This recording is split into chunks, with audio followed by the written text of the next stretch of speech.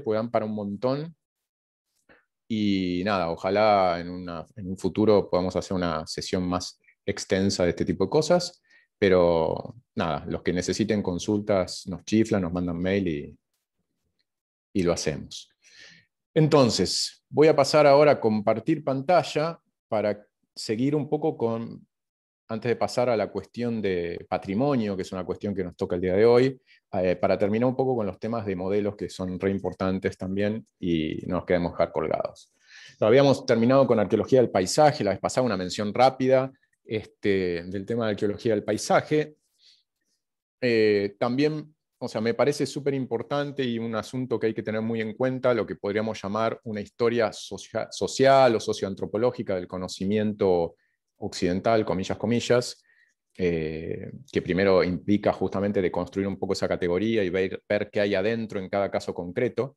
Esto es muy importante aunque ustedes se dediquen, por ejemplo, a estudiar eh, pueblos originarios, porque si uno quiere estudiar los charrúas, los kogi o quien sea, están eh, inmersos en contextos coloniales y después del Estado Nacional, donde es importantísimo entender con qué están vinculándose.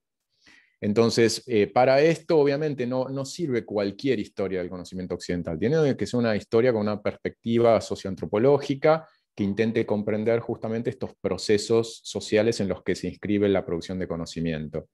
Eh, acá les puse solamente algunos autores que a mí me parecen particularmente relevantes, como toda la escuela de la microhistoria de Carlos Ginsburg, me parece súper interesante, que básicamente lo que hace es un poco explotar la idea del hecho social total de Durkheim, es decir, encontrar un pequeño evento cotidiano en el cual cuando uno lo mira con una lupita aparecen todos los hilos de la, estructura social, de los, de imaginarios que están por detrás.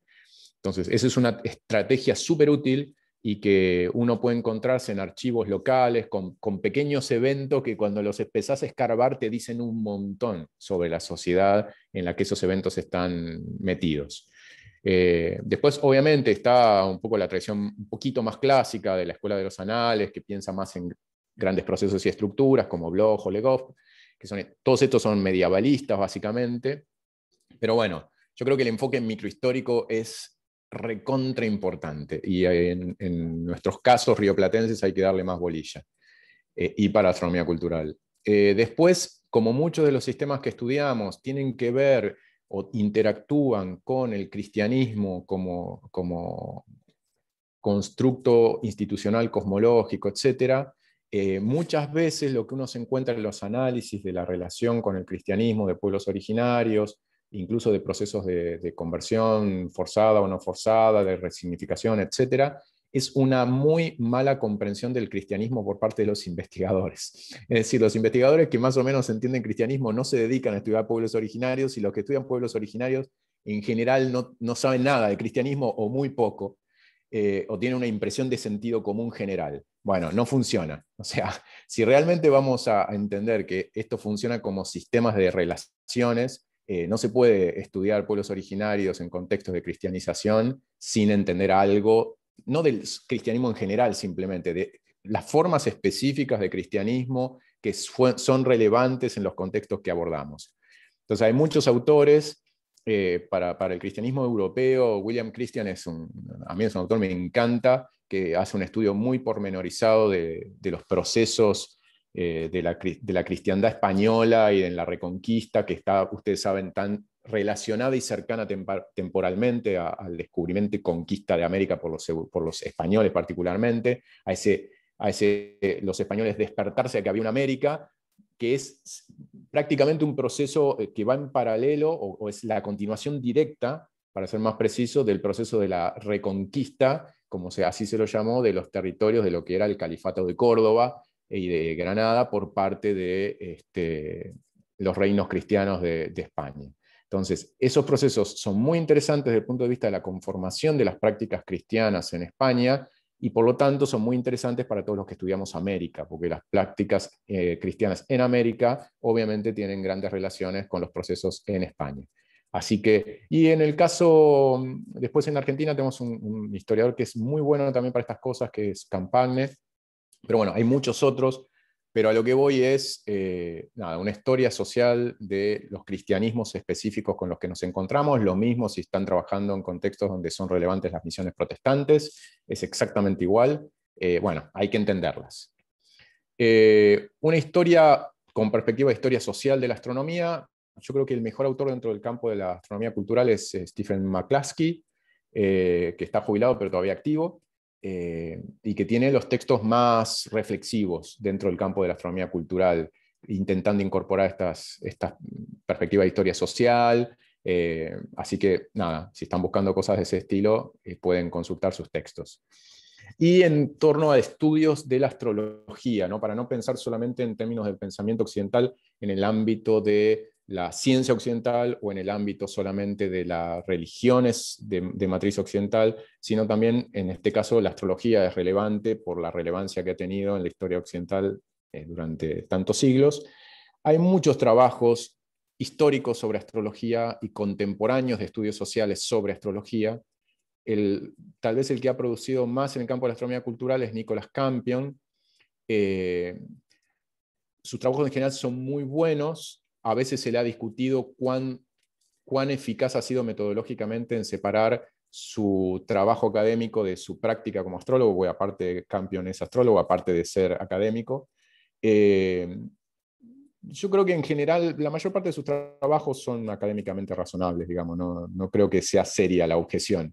Pero nada, hay que tomar cada trabajo y ver eso. Pero bueno, hay, muchos trabajos interesantes como el de Adorno, que es un clásico. Hay un trabajo muy interesante sobre astrología en Brasil de los 90 de Luis Rodolfo Vilena, que es un trabajo, una socioantropología de la astrología en Río de Janeiro, muy interesante, que yo se los diría que es una referencia obligada.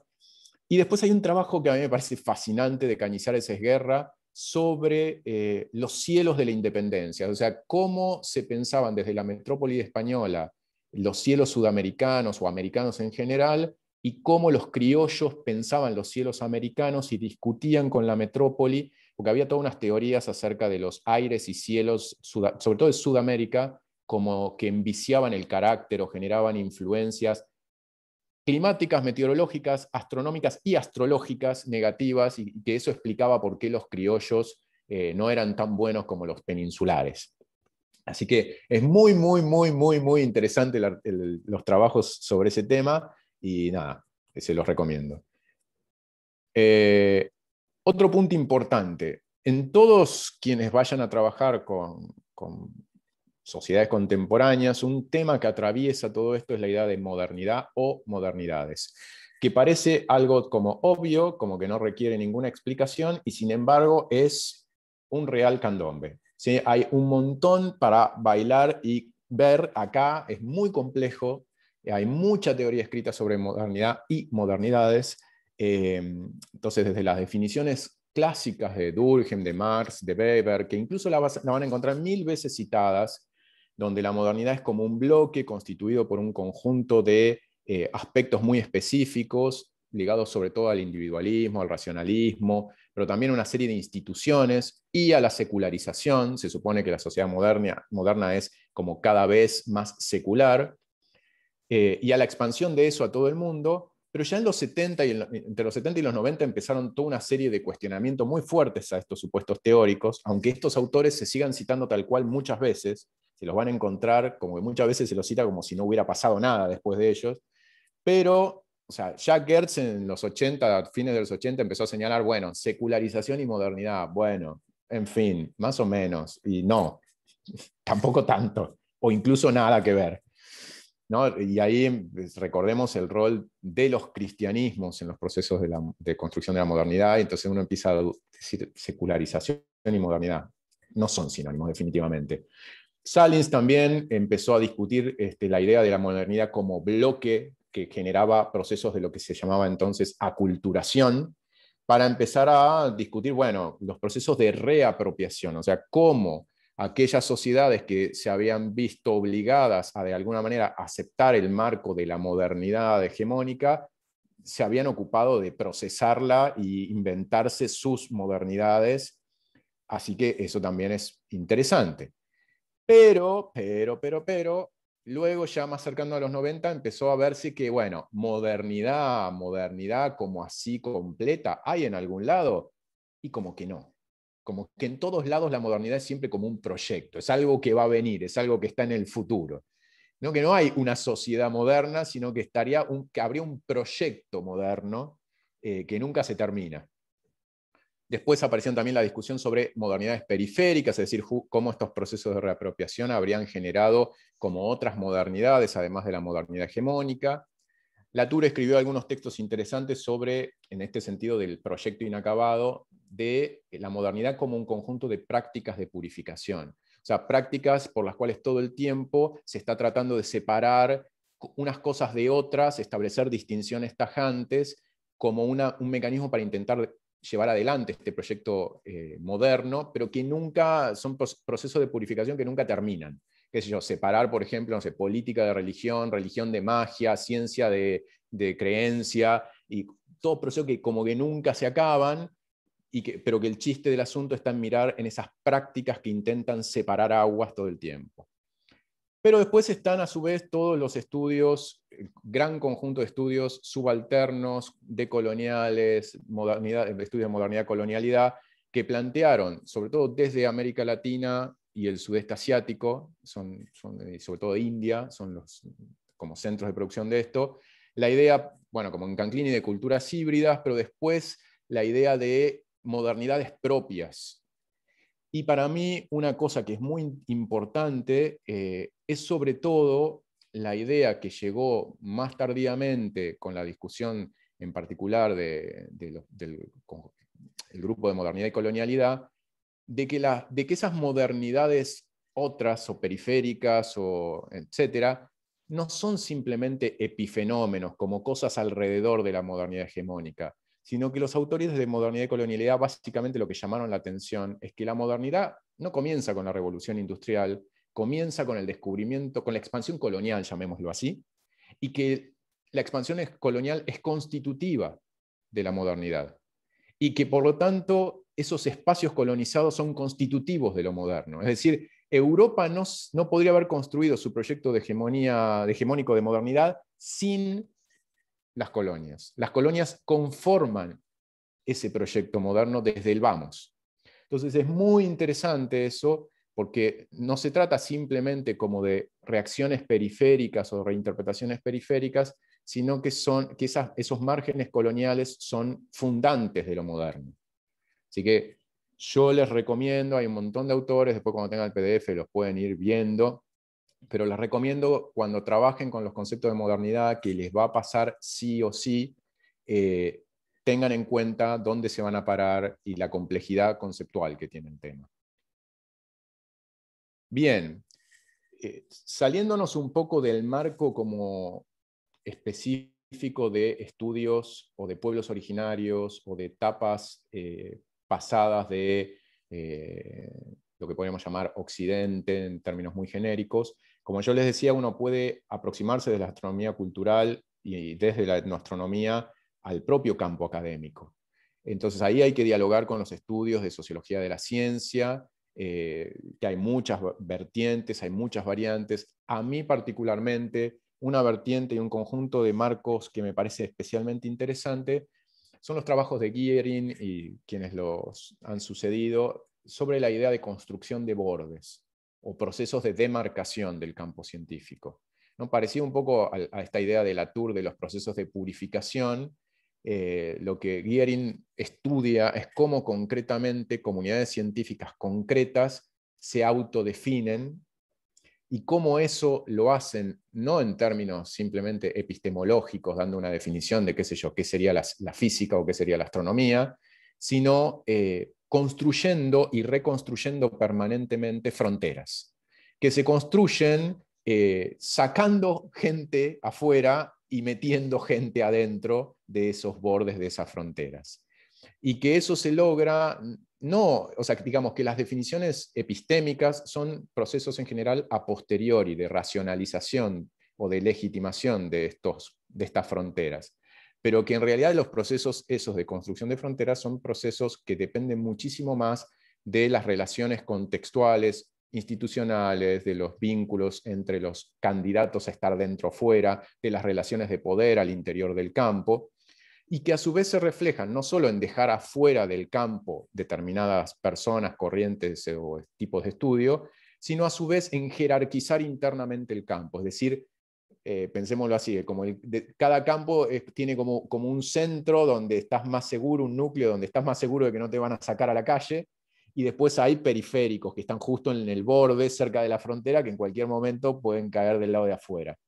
Y quienes están en ese núcleo más íntimo se transforman, eh, como, como, lo diría Elías, en, el, en la porción normativa, es decir, en el paradigma que establece cómo habría que comportarse y qué habría que hacer para, para seguir perteneciendo a ese campo eh, y no salirse de ahí. Entonces, eh, esta idea de jerarquización interna y de núcleos normativos, de qué sería hacer, ser científico o hacer ciencia y qué no sería, es muy importante y para quienes estudien eh, el campo académico de la astronomía, por ejemplo, desde la astronomía cultural, eh, me parece que son, son modelos que pueden ser muy útiles. yo hice algún trabajo sobre cosas relacionadas con esto, ahora recientemente sobre reacciones de eh, astrónomos académicos argentinos y en general científicos de las ciencias naturales en Argentina al terraplanismo.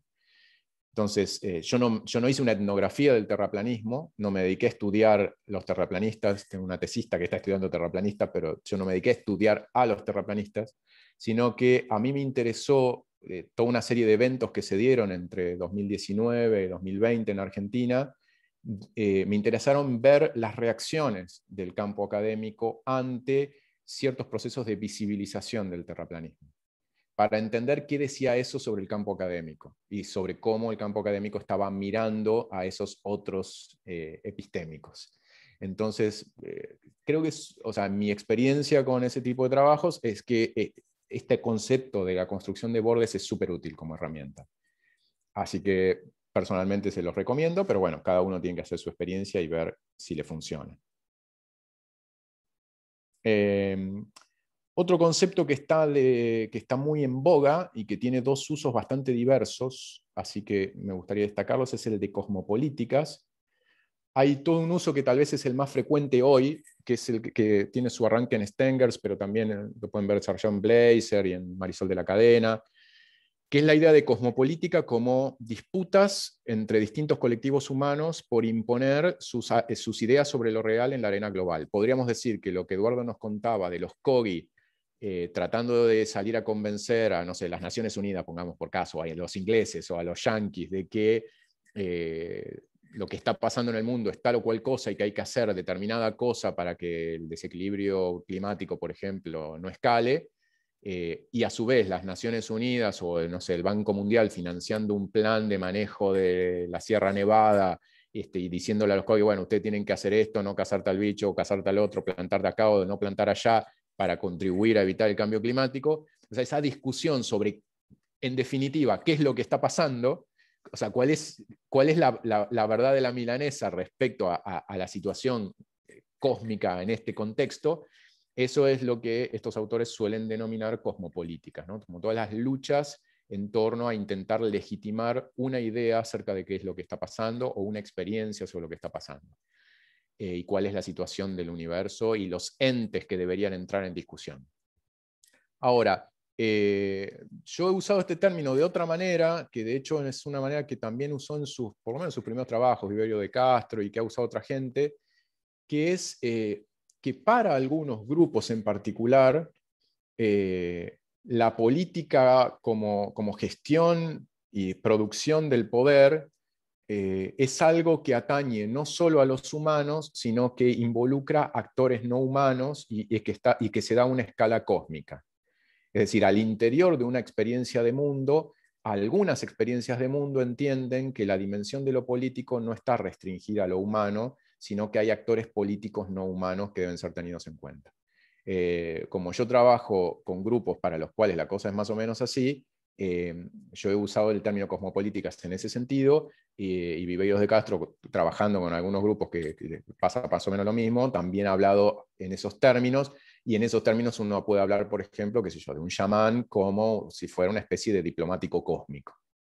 Eh, son dos usos que, del mismo término, lamentablemente, porque bueno, qué sé yo, quedó es la misma palabra, que no son equivalentes, no son equivalentes, aunque tienen punto de contacto y que hay que tener un poco de cuidado de distinguir. Eh, bien, y acá llegamos para Eduardo al giro ontológico. Eh, yo le decía a Eduardo, teníamos preparado algún comentario sobre el giro ontológico, este, porque teoría de moda no, no se puede no decir nada. Entonces, eh, después lo van a poder ver en detalle en el PDF. Este es un resumen. Hay un, hay un texto que está bueno para quien quiera tener un panorama general, sobre todo del giro ontológico en antropología, que es el que más influencia está teniendo o podría tener en el contexto de la astronomía cultural. Es, el libro de Holbrad y Pedersen, que es justamente como giro ontológico un poco desde la antropología. Es un texto programático, ¿no? O sea, Holberg y Pedersen son abanderados del giro ontológico, o sea, no es un texto crítico sobre el giro ontológico. Es un texto que expone el programa del giro ontológico eh, desde dentro. Entonces, uno tiene que leerlo con esa salvedad, ¿no? uno está escuchando a un vendedor de televisores que quiere vender un televisor. Ok, no quiere decir que mienta, pero es un vendedor de televisores que va a vender un televisor. O sea, no va a decir que el televisor es malo, ni va a resaltar los problemas del televisor. Entonces, pero es un libro eh, que está bueno porque tiene un largo recorrido sobre distintos aspectos del giro ontológico eh, y de alguna manera muestra como una mirada desde lo que hoy podríamos decir como el riñón de algunos de los principales representantes del giro ontológico. Y básicamente lo que muestra es que el giro ontológico se plantea como la gran renovación de la teoría en ciencias sociales y en particular en antropología de los años 2000, como la solución a la crisis postmoderna, etc. Eh, y toma como una serie de, padres fundadores, padres y madres, ¿no? Eh, Wagner, Stratton, ambas personas trabajando en Melanesia, eh, y Viveiros de Castro en Brasil. Eh, en Brasil, pero con una relación muy intensa con la Academia Francesa. Es decir, básicamente el giro ontológico es un movimiento teórico em, que podríamos llamar metropolitano, de, los centros académicos. Eh, sí. yo te diría, es verdad, pero lo siguen usando, porque, eh, digamos, los giros, estas cosas, hay que entender también que la academia, sobre todo anglosajona, tiene la necesidad de crear etiquetas y, que es muy importante en la academia anglosajona, si vos querés hacerte un nombre eh, y construir escuela, crear una etiqueta. Eh, y, lo mismo ha pasado, digamos, con el giro lingüístico, este, con el giro histórico, y, pasa ahora también, Eduardo que trabaja en antropología de la religión lo sabrá, con la antropología del cristianismo de Joel Robbins. es, el, es el mismo fenómeno. Entonces, hay que mirarla con ah, cuidado y ver qué se puede rescatar y no comprar necesariamente el paquete de vacaciones all inclusive. ¿no? para, que, para que haya un giro tenemos que girar todos, ¿no? Bueno, es que ese es el punto, ese es el punto, ¿por qué quiero comentar esto? Porque me parece que ese es el punto crucial. E, el problema detrás del marketing de los giros es la idea de que se venden a sí mismos como que todo el campo habría decidido y habría generado un consenso de que, ah, ahora vamos todos para allá. Sea, se venden a sí mismos como un mapa del campo en su estado actual. Y está pasando, o sea, esta moda, de, en particular del giro ontológico, como, como lo que hay que hacer hoy, está empezando a aparecer en la astronomía cultural. Entonces, por eso mismo lo planteo. De hecho, acabo de referiar un artículo sobre eso. Así que, por eso lo planteo. Porque una cosa es abogar por un paradigma teórico, que es algo perfectamente legítimo, y uno puede considerar que es un lindo mapa eh, como decíamos antes, que es muy bueno para hacer tal o cual cosa. Ya si uno cree que es un lindo mapa para todo, a mí personalmente me empieza a hacer un poco de ruido, pero bueno, cada uno está en su derecho de pensar lo que quiera. Ahora, si uno lo vende como que es la única alternativa realmente válida, yo ahí ya me bajo del barco. O sea, ahí conmigo no cuente. Entonces, eso creo que es importante y el giro ontológico tiene toda la pinta de que en la próxima década bueno, o cinco años, no creo que lleve una década, en los próximos cinco años va a empujar en nuestro campo de esa manera. Entonces les decía, es básicamente un movimiento teórico metropolitano y sobre todo de la academia anglosajona y francesa. porque uno de los proponentes que lo está ahí intentando tallar, aunque mucho no lo dejan, es de Escolá, con Viveiro de Castro ahí un poco en el medio, pero en fin. Hay versiones de esto en filosofía, en estudio de ciencia, tecnología y sociedad, donde la Tour sobre todo está muy presente. Y en antropología tendríamos como dos vertientes, supuestamente una vertiente que Holberg llama metafísica, que por un lado habría autores que están diciendo, bueno, necesitamos una nueva manera de concebir la realidad para, para nosotros, para los científicos, para Occidente, hay que, y, bueno, y mirar las maneras que tienen de concebir la realidad a otros nos va a dar una mejor metafísica. Holberg dice que Escobar y en parte Ingold estarían ahí. Es un poco dudoso, pero en fin.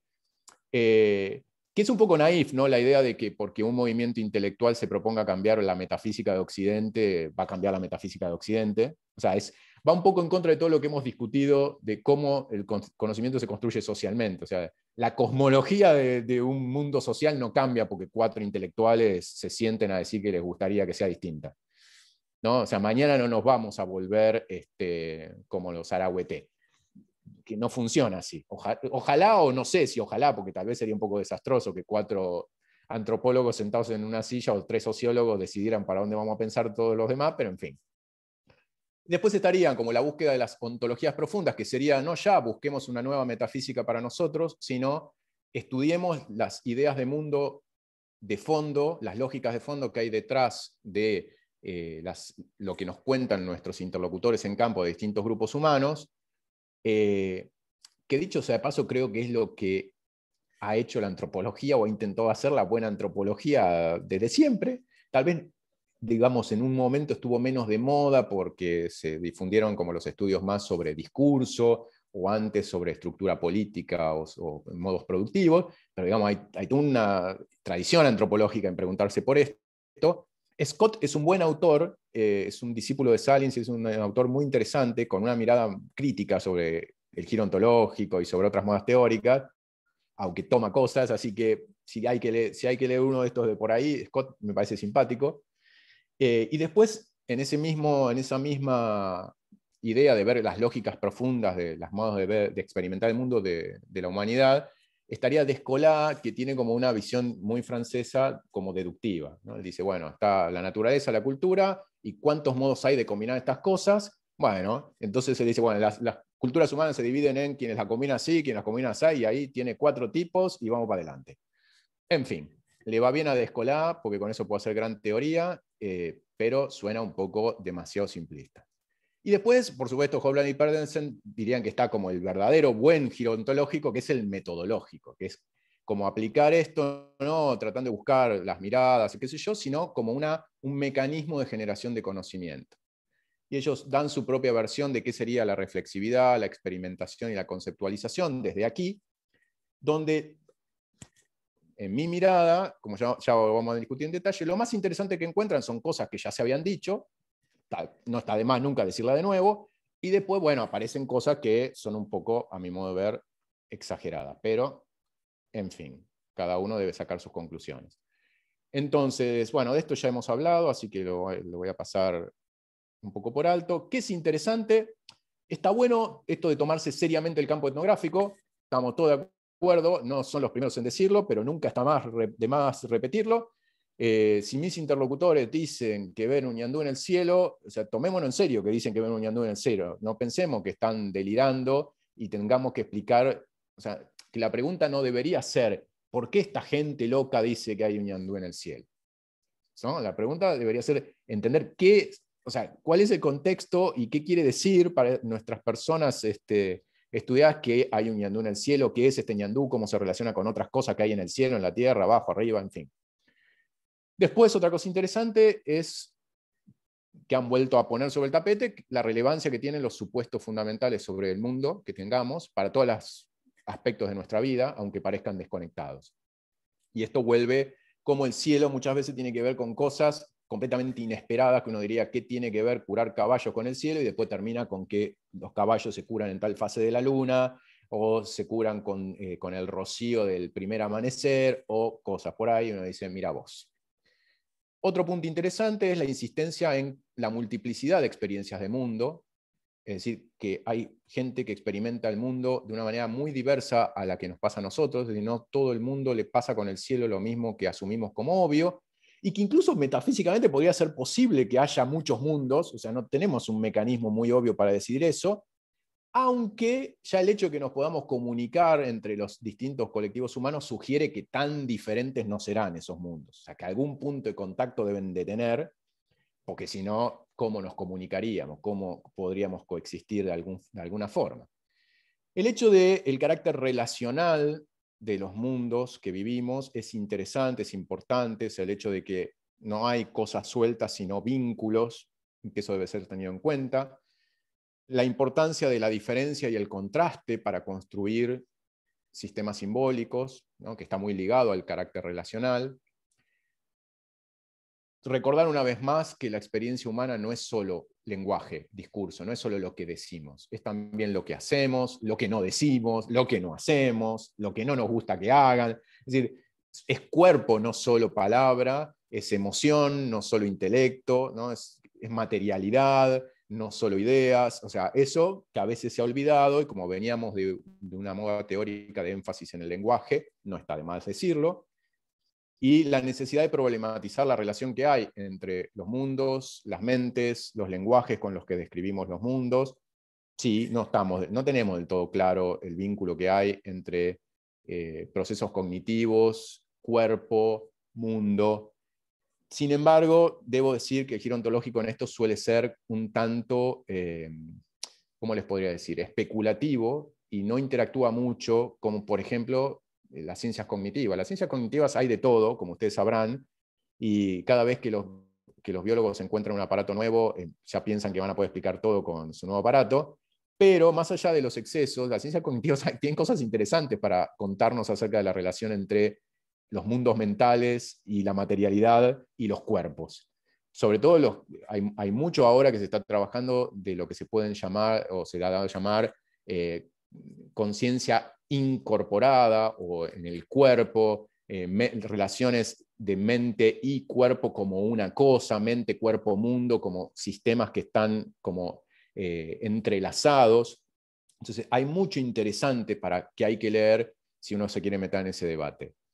Y obviamente, o sea, es también interesante que lo que conocemos de, las experiencias de mundo de otros nos lleven a nosotros a repensar los conceptos que usamos eh, y a repensar la manera en que, conceptualizamos esas miradas de los otros. O sea, obviamente, en este proceso que hablamos con Eduardo de intentar traducir a lo que nosotros podemos digerir eh, la experiencia de mundo de otro, eh, está bueno dejarse impactar por lo que el otro me dice en sus propios términos y, obligarme a mí como a reformar mi propio idioma. Eso, eh, digamos, que es lo que llaman en el giro ontológico conceptualización, es algo que de nuevo está en la sana tradición histórica centenaria de la antropología, tampoco es algo que hayan inventado en el giro ontológico.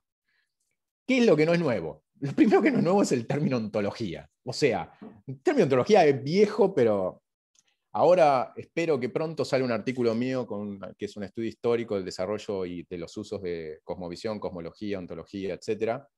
Eh, es un término muy viejo en, la filosofía eh, y es un término que en la antropología se ha usado, a veces medio intercambiable con cosmología o con sistemas simbólicos y digamos, no hay ninguna razón para preferir uno a otro en sus orígenes filosóficos y etimológicos o sea, son igual de útiles y más o menos apunta para el mismo lado. Ahora, el problema serio es que en general en el giro ontológico solo se usa el término ontología y no hay ningún término para describir, o sea, por, algún, por alguna razón que en realidad no es arbitraria, sino por, toda una serie de razonamientos que vienen de Heidegger, los autores de giro ontológico no les gusta cosmología. Eh, yo creo que está equivocado el planteo, pero no importa, o sea, siguiendo a Heidegger, prefieren ontología, pero el problema es que no tienen nada equivalente a cosmovisión o a mundo de la vida o alguna otra cosa que no hable de sistemas formales, estructurados, explícitos. Y al desaparecer cualquier manera de nombrar eso, todo termina siendo ontología. Y eso hace que perdamos eh, los niveles de complejidad de relación con el mundo que tiene cualquier sociedad. O sea, no es que en cualquier sociedad todo el mundo piensa lo mismo sobre el mundo, ni que es lo mismo las teorías explícitas que lo que decimos de entre casa, que lo que tenemos incorporado intuitivamente, que el sentido común. O sea, son planos diferentes, por más que uno se quiera hacer el sonso, no es todo lo mismo. Y si uno pierde esa capacidad de distinguir entre niveles del discurso, ni hablemos después lo difícil que es articular eso con lo que hacemos. Entonces, bueno, ahí en general el girontológico se queda medio manco. Tomarse seriamente el mundo de los otros tampoco es nuevo, eh, y es más, ahí en general el tiende a ser una apreciación valorativa de las metafísicas. Es decir, girontológico suele decir estas metafísicas están bien, o estas ontologías están bien, y estas son una porquería. Lo cual para mí está justamente en las antípodas de la buena práctica antropológica, porque desde dónde usted va a evaluar eso, con qué vara va a medir eso, con, qué criterio va a evaluar eso, en fin. Y después una cosa que el giro ontológico eh, a veces plantea como una cosa novedosa es, ha descubierto que la antropología nació en Occidente, o sea, sí, así es la cosa, efectivamente, y entonces dice, bueno, los supuestos eh, ontológicos de la antropología son occidentales, y sí, es así, eh, pero entonces ahí vendría como el planteo de que deberían no serlo. Bueno, o sea, no es que uno decreta un día cuáles van a ser los supuestos de una disciplina. Si el día de mañana otras sociedades no occidentales deciden que hay que construir una disciplina del conocimiento transcultural que se dedique a entender, qué sé yo, lo humano, y que tendrá no sé qué características institucionales, metodológicas, teóricas, etcétera, pues ocurrirá pero no se la puede fabricar a la fuerza. Por decirlo de esta manera, una cosa es incorporar la posibilidad de otros conceptos y otras metafísicas y, ver qué onda, qué nos sirve, y otra cosa es suponer que porque digamos que vamos a hablar de mundos plurales, estamos incorporando una perspectiva chamánica a la antropología. Porque por empezar, yo no conozco ningún chamán que crea que el chamanismo hay que estudiarlo en una universidad y que se da en una cátedra y que se estudia teóricamente leyendo libros. O sea, en general, los procesos institucionales, los mecanismos de transmisión y producción del conocimiento son parte de un sistema de conocimiento. Entonces, si vamos al caso, deberíamos plantearlos por qué tener universidades o por qué cursar carreras con libros. O, por, o sea, digamos, no puede, no puede uno plantearse que, va, que quiere como des, eh, la antropología eh, sin hacerlo realmente creo que es más humilde y más sensato reconocer el carácter situado de la empresa antropológica, saber dónde estamos parados y saber que otros tendrán, otras sociedades, tendrán sus modos de intentar conocer a los otros de sí mismos y a ellos mismos, que tal vez no tengan nada que ver con la ciencia antropológica, y que son legítimos y que son respetables y que tienen, que, tienen el derecho a tenerlos. Y que a lo mejor pueden encontrarse interfaces o a lo mejor no. O a lo mejor nuestros interlocutores, no tienen interés. No lo sabemos. Eh, entonces, nada, ahí yo creo que un poco más de humildad epistémica vendría bien. Cosas problemáticas, aparte de las que he mencionado. Em, bueno, decía, simplificar las relaciones entre experiencia del mundo, reflexión sobre esa experiencia y acciones, hace muy complicado para el giro ontológico dar cuenta del cambio social y, de la reproducción y cambio de los sistemas cosmológicos. Eh, se complica. Una concepción naive sobre los vínculos entre conocimiento, experiencia y sociedad eh, pierde todo lo que habíamos ganado con un montón de décadas de reflexión epistemológica sobre esos vínculos. Entonces, ¿para qué tirarlo por la ventana? Ok, puede haber otras ontologías, otras cosmologías, pero además están todos estos niveles al interior de una misma sociedad en general tiende a ignorar o a hacer desaparecer la geopolítica del conocimiento, las relaciones de poder entre sistemas de conocimiento, o a no darles un lugar central en su comprensión de cómo se constituyen los sistemas de conocimiento. También tiende a simplificar lo que es el carácter heterogéneo de la existencia humana y de los modos del pensar humano. Quiero decir con esto, hacen algo parecido a lo que suelen hacer los científicos, que es que piensan o tienden a imaginar que si uno es racional y sensato, aplicará el método científico, la perspectiva científica a todo en su vida. Pero cuando uno mira de cerca la vida de un científico, se da cuenta que no hace eso en general. eh, que en general los seres humanos tenemos distintos sistemas de organización de la vida que aplicamos en distintos compartimientos o partes de nuestro mundo, que muchos de esos sistemas nunca se tocan y funcionan con lo que Evans Pritchard llamaba lógicas parciales, o sea, como que para tal cosa yo uso un modo, para tal otra uso otro modo, y en general no se conectan y no veo ninguna contradicción. Y cuando aparecen contradicciones, me las rebusco para ver cómo los empalmo. Y eso ocurre en todas las sociedades humanas la mayor parte de las veces y no tenerlo en cuenta es un gran problema. Otro problema es el pensar las cosmologías como cosas cerradas y estáticas, eh, olvidarse del factor de intercambio entre sistemas simbólicos todo el tiempo, no como un accidente, sino como constitutivo, y nada, la desaparición del rol de los procesos coloniales, el Estado, la economía, o sea, la economía política de los símbolos, o sea, la, desaparición de la dimensión del poder como punto constitutivo de los sistemas simbólicos. En fin, bueno, todo esto hace por qué es problemático el giro ontológico, mi visión personal, este, por supuesto, cada uno hará la suya. Pasando a otros temas, relaciones entre educación y astronomía. Yo creo que un gran autor para pensar esto desde una perspectiva de la, coherente con todo lo que hemos venido diciendo es Vygotsky. Los que están en el sistema educativo seguramente habrán leído Piaget y habrán leído Vygotsky. Bueno, a, pesar de que, no sé en Uruguay, en Argentina se los da en, la formación docente a los dos, y se los da como si fueran absolutamente compatibles y como que nadie dice agua va, pero quienes los hayan leído sabrán que no son muy compatibles. Eh, Piaget tiene esta idea del niño descubriendo eh, el mundo y construyendo el pensamiento a partir de la interacción con el mundo material, solito su alma. de hecho, yo cuando leía los textos de Piaget siempre me imaginaba un bebé en pañales en una sala blanca con un tubo de ensayo pasando juguitos de un lado al otro. Eh, mientras que Vygotsky lo que piensa es que el conocimiento eh, los niños lo adquieren en contextos sociales preexistentes, es decir, hay, hay, adultos que los introducen a un mundo simbólico que ya está antes de que naciera este niño eh, y que lo instruyen de maneras explícitas e implícitas en las categorías simbólicas de ese mundo. Y luego esa interacción mediada con el mundo material irá construyendo los conceptos o internalizando los conceptos en el niño. Entonces, a mí me parece que partir de, eso es medio fundamental para poder construir una mirada de la educación de la astronómica que, pueda ir en línea con la astronomía cultural. Con Néstor Camino estamos haciendo cosas en esa dirección, Néstor la viene haciendo hace mucho tiempo y últimamente estamos intentando eh, colaborar.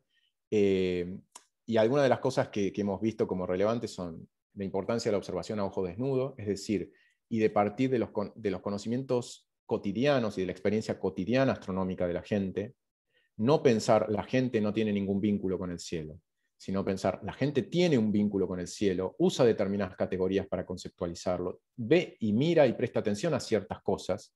De hecho, no prestar atención es una manera de prestar atención. O sea, no mirar el cielo es una forma de relacionarse con el cielo.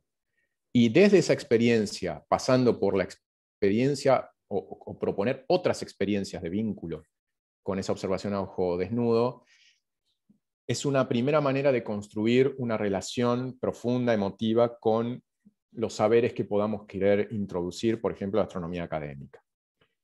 Por lo tanto, también hablamos de una observación crítica, una observación que se haga preguntas y que se haga esas preguntas básicas, eh, como usted me dice, movimiento aparente del Sol. ¿Por qué? ¿Por qué aparente? Si yo agarro, me siento en una silla en el patio de mi casa y veo que el sol estaba acá a las 10 y después estaba acá a las 11. ¿Por qué aparente? No, y, uno descubre que la persona que le plantea eso tiene razón, porque ya lo decía Galileo, el movimiento es siempre relativo, el movimiento es siempre respecto a algo. Y efectivamente, si usted se ha sentado en una silla en la Tierra, lo que ve es eso, y sí, así es la vida, ¿qué le vamos a hacer? Entonces, esa posibilidad de discutir críticamente como ciertas etiquetas que tienen un cierto sentido, pero que se las pone ya como si fueran eh, palabras objeto-realidad, que por sí mismas este, constituyen o tienen un significado independientemente del contexto. Y otra cosa es la observación situada, la observación desde mi paisaje local, vinculando lo que pasa en el cielo con el paisaje, esa misma cosa que estamos viendo en muchos grupos humanos, que uno la puede plantear como actividad en el contexto educativo. el rol de las emociones ¿sí? y el diálogo entre el saber familiar y el saber escolar. Así que nada, esto como algo que creo que puede servir como orientación. Néstor tiene un montón de materiales sobre, sobre aproximaciones este, a la educación en astronomía desde, estas perspectivas. Y a su vez, más allá de los materiales escritos, si tienen oportunidad de escuchar una charla de él, eh, son excelentes, es un, gran narrador de, de este enfoque.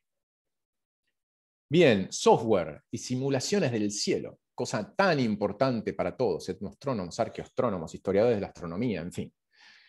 Si usted quiere leer algo con fundamento, como decía este, el vasco, si usted quiere leer algo así, peso pesado, Georg Sotti, austríaco, se dedica a la astronomía cultural, es uno de los desarrolladores del programa Stellarium, que es de los mejores software para simulación del cielo que hay dando vuelta, gratuito y código abierto lo cual es enormemente importante, y es un especialista en discutir la precisión y utilidad del software astronómico para realizar cosas de astronomía cultural. ¿Usted quiere saber si esto que le dice que, hubo un eclipse en el año 2300 a.C. tiene algún sentido, si le puede estar pifiando por mucho? Consulte los textos de Don Georg Sotti, eh, escríbale un mail si tiene dudas de un caso específico, eh, y él es la autoridad contemporánea en estos temas no solo respecto a cuestiones que tienen que ver con posicionamiento, también en lo que tiene que ver con eh, desarrollar, por ejemplo, conjuntos de asterismos que se pueden subir en forma pública y gratuita para que los usuarios de Stellarium los descarguen. Entonces uno puede armar lo que se llaman culturas estelares, es decir, los asterismos, no sé, charrúa, y situarlos y que, estén disponibles para, gente de todo el mundo. Eh, mi recomendación, uno, esto tiene, es bastante flexible el programa respecto a lo que se puede hacer ahí y uno puede poner muchos comentarios en, la cultura estelar que desarrolla. Entonces, mi recomendación es que si uno hace esto con algún grupo que está trabajando, siempre es bueno en lugar de poner simplemente que los asterismos charrúa o el cielo charrúa, es poner ahí un disclaimer, una aclaración que diga eh, esto es el fruto del trabajo con estas comunidades, estas personas, en tal año, en tal contexto, que es lo que permite que quien ve eso, se, digamos, no asuma como homogeneidades que, no existen o no sabemos si existen, y que a su vez reconoce eh, el conocimiento y el trabajo de las personas concretas con las que hemos trabajado en eso. Entonces, si van a hacer algo así, yo les recomiendo eso, se puede hacer en Stellarium, y a la gente de Stellarium le, encanta que uno haga culturas estelares, así que si lo pueden hacer y pueden poner esos detalles, está bueno. Eh, esto es muy importante porque se ha puesto muy de moda hacer arqueoastronomía sin ir al terreno, lo cual es un error tremebundo, pero usando Google Earth y Stellarium y nada más. Eh, si uno se lee en serio los trabajos de, Georg, se da cuenta que, no, no, funciona tan simple, pero a su vez hay cosas muy interesantes que se pueden hacer. Lo que ven acá de fondo es una imagen generada por Georg con una reconstrucción 3D de un instrumento que él construyó en el lugar donde trabaja, eh, que es un instrumento para observación a simple vista de, fenómenos astronómicos, eh, y está situado en, en, un paisaje que está hecho con un entorno fotografiado y digitalizado metido en Stellarium, y, tiene una, y está armado para reproducir con gran exactitud lo que se observa in situ. Pero esto lleva un trabajo que ni les cuento. O sea, si usted quiere hacerlo, Georg se lo explica, no es imposible, pero es trabajoso y no se hace así nomás. Eh, pero se pueden hacer cosas muy interesantes, de simulaciones, incluso él puede simular cómo funciona la sombra de su gnomon eh, con Stellarium y ir después a su gnomon y verificar si efectivamente está andando bien. Así que hay un montón de cosas que se pueden hacer ahí. Un autor interesante para discutir los límites de la observación astronómica instrumental a simple vista, ¿podía tal grupo ver tales estrellas en tal época, no sé qué? Es el norteamericano Bradley Schiffer, que ha estudiado mucho estas cuestiones, visibilidad de fenómenos, efectos de refracción, otras correcciones que hay que tener en cuenta, eh, variabilidad de estrellas y cosas de ese estilo. Así que si les interesan esos temas, es un autor interesante. Después, en temas más culturales, no tanto, pero en estos temas es, un autor muy interesante. Eh, me habían quedado colgados género y diversidades. Yo les había dicho, hay poco hecho, pero eh, no nada hecho. Y Sharita Holbrook, que de hecho es hoy la presidenta de la ISAC, una de las tres sociedades, eh, se ha dedicado a estudiar, sobre todo en el mundo de la astronomía académica, ella estudia, tiene dos grandes temas de estudio, astronomías africanas, es decir, de, población originaria de África, en distintos grupos, eh, y de hecho es la editora de, un libro que se llama African Astronomies, que es muy interesante, que es un libro con artículos de distintos investigadores africanos, eh, y fue la organizadora de la conferencia Oxford que se hizo en Sudáfrica. Pero su otro tema de investigación son las relaciones familiares y trayectorias personales en la astronomía profesional mundial y en particular el impacto eh, de las relaciones eh, personales en la carrera académica de la gente y en especial prestando atención a mujeres y minorías étnicas y este, distintas situaciones, distinto tipo de minorías en general, diversidades, por ejemplo, ha trabajado con personas con distintas capacidades, como por ejemplo personas con problemas de visión o de audición, o personas con problemas de movilidad, diversidad de género, en fin, intentando ver cuál es el impacto de estas diversidades en las trayectorias académicas al interior de la astronomía. Así que, nada, eh, me parece que puede ser interesante. Bien, hasta acá cómo vamos. ¿Consultas? ¿No? ¿Se va entendiendo? Muy bien. Muy bien. Entonces ahora vamos a bajar de la estratosfera de las grandes teorías y vamos a ir a cosas que se hacen, se han hecho y se harán en la etnoastronomía en particular, también un poco en arqueastronomía, eh, enfoques de trabajos comunes que se hacen, que se, que se han hecho, que se pueden hacer. Entonces, una cosa muy frecuente es la clasificación de los vínculos con el cielo en varios tipos. Es muy frecuente que la gente los separe en usos pragmáticos que sería navegar, por ejemplo, en tierra o por agua, eh, regular las actividades productivas en función de los ciclos estacionales, este, qué sé yo, tratar de ver cómo se comportan las especies animales o vegetales. Después estarían como usos ideológicos que estarían ligados al poder político que intenta usar el cielo para legitimar su autoridad. Y después habría como usos populares, que serían las creencias eh, sobre las relaciones entre astros y seres humanos que aparecerían en los mitos, en el folclore, etc. Bueno, como, todo lo que hemos estado discutiendo muestra que esta clasificación tiene gigantescos problemas por todos lados, eh, entre otras cosas que sus propias categorías presuponen una división de estos campos que no necesariamente es tal. Eh, entonces, qué sé yo, como yo dijera, para los mayas, que el soberano se vistiera de árbol cósmico en las ceremonias, ¿Era un uso ideológico o un uso pragmático? Qué pregunta, ¿no? Entonces, este, muy probablemente podríamos decir que esa diferenciación, e incluso de que lo que pensaban las personas en general de la sociedad maya, eh, la idea de, uso pragmático y la idea de uso ideológico, es una distinción un poco compleja de operativizar, por ejemplo, en ese caso. Así que nada, yo ahí recomiendo eh, mirar con prudencia este tipo de clasificaciones y pensar en todo caso si es aplicable al caso que se está estudiando. O sea, para este caso, ¿esa clasificación tiene sentido? ¿Es realmente sensata o no? Eh, otra cosa que suele verse en muchos trabajos, la idea de que la expansión mundial de la ciencia occidental es, por ejemplo, el resultado de que es el conocimiento real sobre el universo, entonces se expande porque bueno, la gente se da cuenta que está bien y listo. O eh, que no tiene eh, ningún carácter social, a diferencia de todo otro tipo de conocimiento, no tiene, no tiene nada que ver ni con la política, ni con la economía, ni con sistemas productivos, ni con nada, que es neutro y que no tiene nada que ver con la expansión del sistema mundo capitalista. Bueno, esto aparece en muchos trabajos, ya hemos discutido que es una preconcepción muy compleja de asumir, eh, que no hay que dar esto por sentado y que de hecho el 90% de lo que está dicho ahí es incorrecto. Entonces, eh, nada, cuidado con eso, aparece mucho. Eh, aparece mucho también esta idea evolutiva de la cultura, como si caza-recolección, agricultura, agricultura de cereales fuera una cadena evolutiva que todas las sociedades seguirían, lo mismo que las formas de organización social. Y a su vez aparece una cosa rarísima, y esto es mucho se ve entre arqueólogos, las sociedades eh, cazadoras recolectoras, por ejemplo, no tienen política. No sé de dónde lo sacaron, pero no tienen política. O no pueden pensar cosas medio sofisticadas sobre el cielo, como cuando se ven tales estrellas, porque son cazadores recolectores. ¿De dónde salió esto? Nadie sabe, pero ahí está. Eh, entonces, hay que tener cuidado con estas generalizaciones.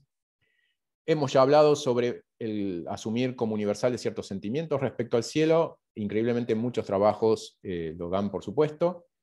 O, por ejemplo, y esto es todavía peor, dar por supuesto que los ciclos astronómicos son más confiables que otro tipo de ciclos y que son causalmente más importantes. Entonces, se usaban los astros para ver cuándo sembrar y el verdadero, la cosa importante de ese calendario era los astros, olvidándose que, como ya lo hemos discutido, eh, bueno, los astros en un, en un conjunto, con, una, con un conjunto de señales, y no necesariamente como causales, causalmente más importantes, si por ejemplo uno está preguntándose cuándo plantar maíz. Acá Laura comenta, de la ciencia matriz occidental colonial de la que somos hijes, no sé, ah, perdón, no sé, esto va en, junto con algo, así que no, estaría entendiendo. Ah, los arqueólogos. ¿De dónde salió? Ahora entendí. Eh, puede ser que haya salido ahí, pero es, particular porque o sea, no es algo, por ejemplo, que suelen decir los antropólogos. Eh, los, no hay tantos arqueólogos que se dediquen a trabajar con cazadores recolectores, obvio los hay, pero no tantos. Y sin embargo es algo que pegó mucho entre muchos arqueólogos y está como muy metido y no sé por qué, no sé dónde, o sea, históricamente no sé de dónde salió, pero ahí anda. Las eh, son mucho más potentes para nosotros.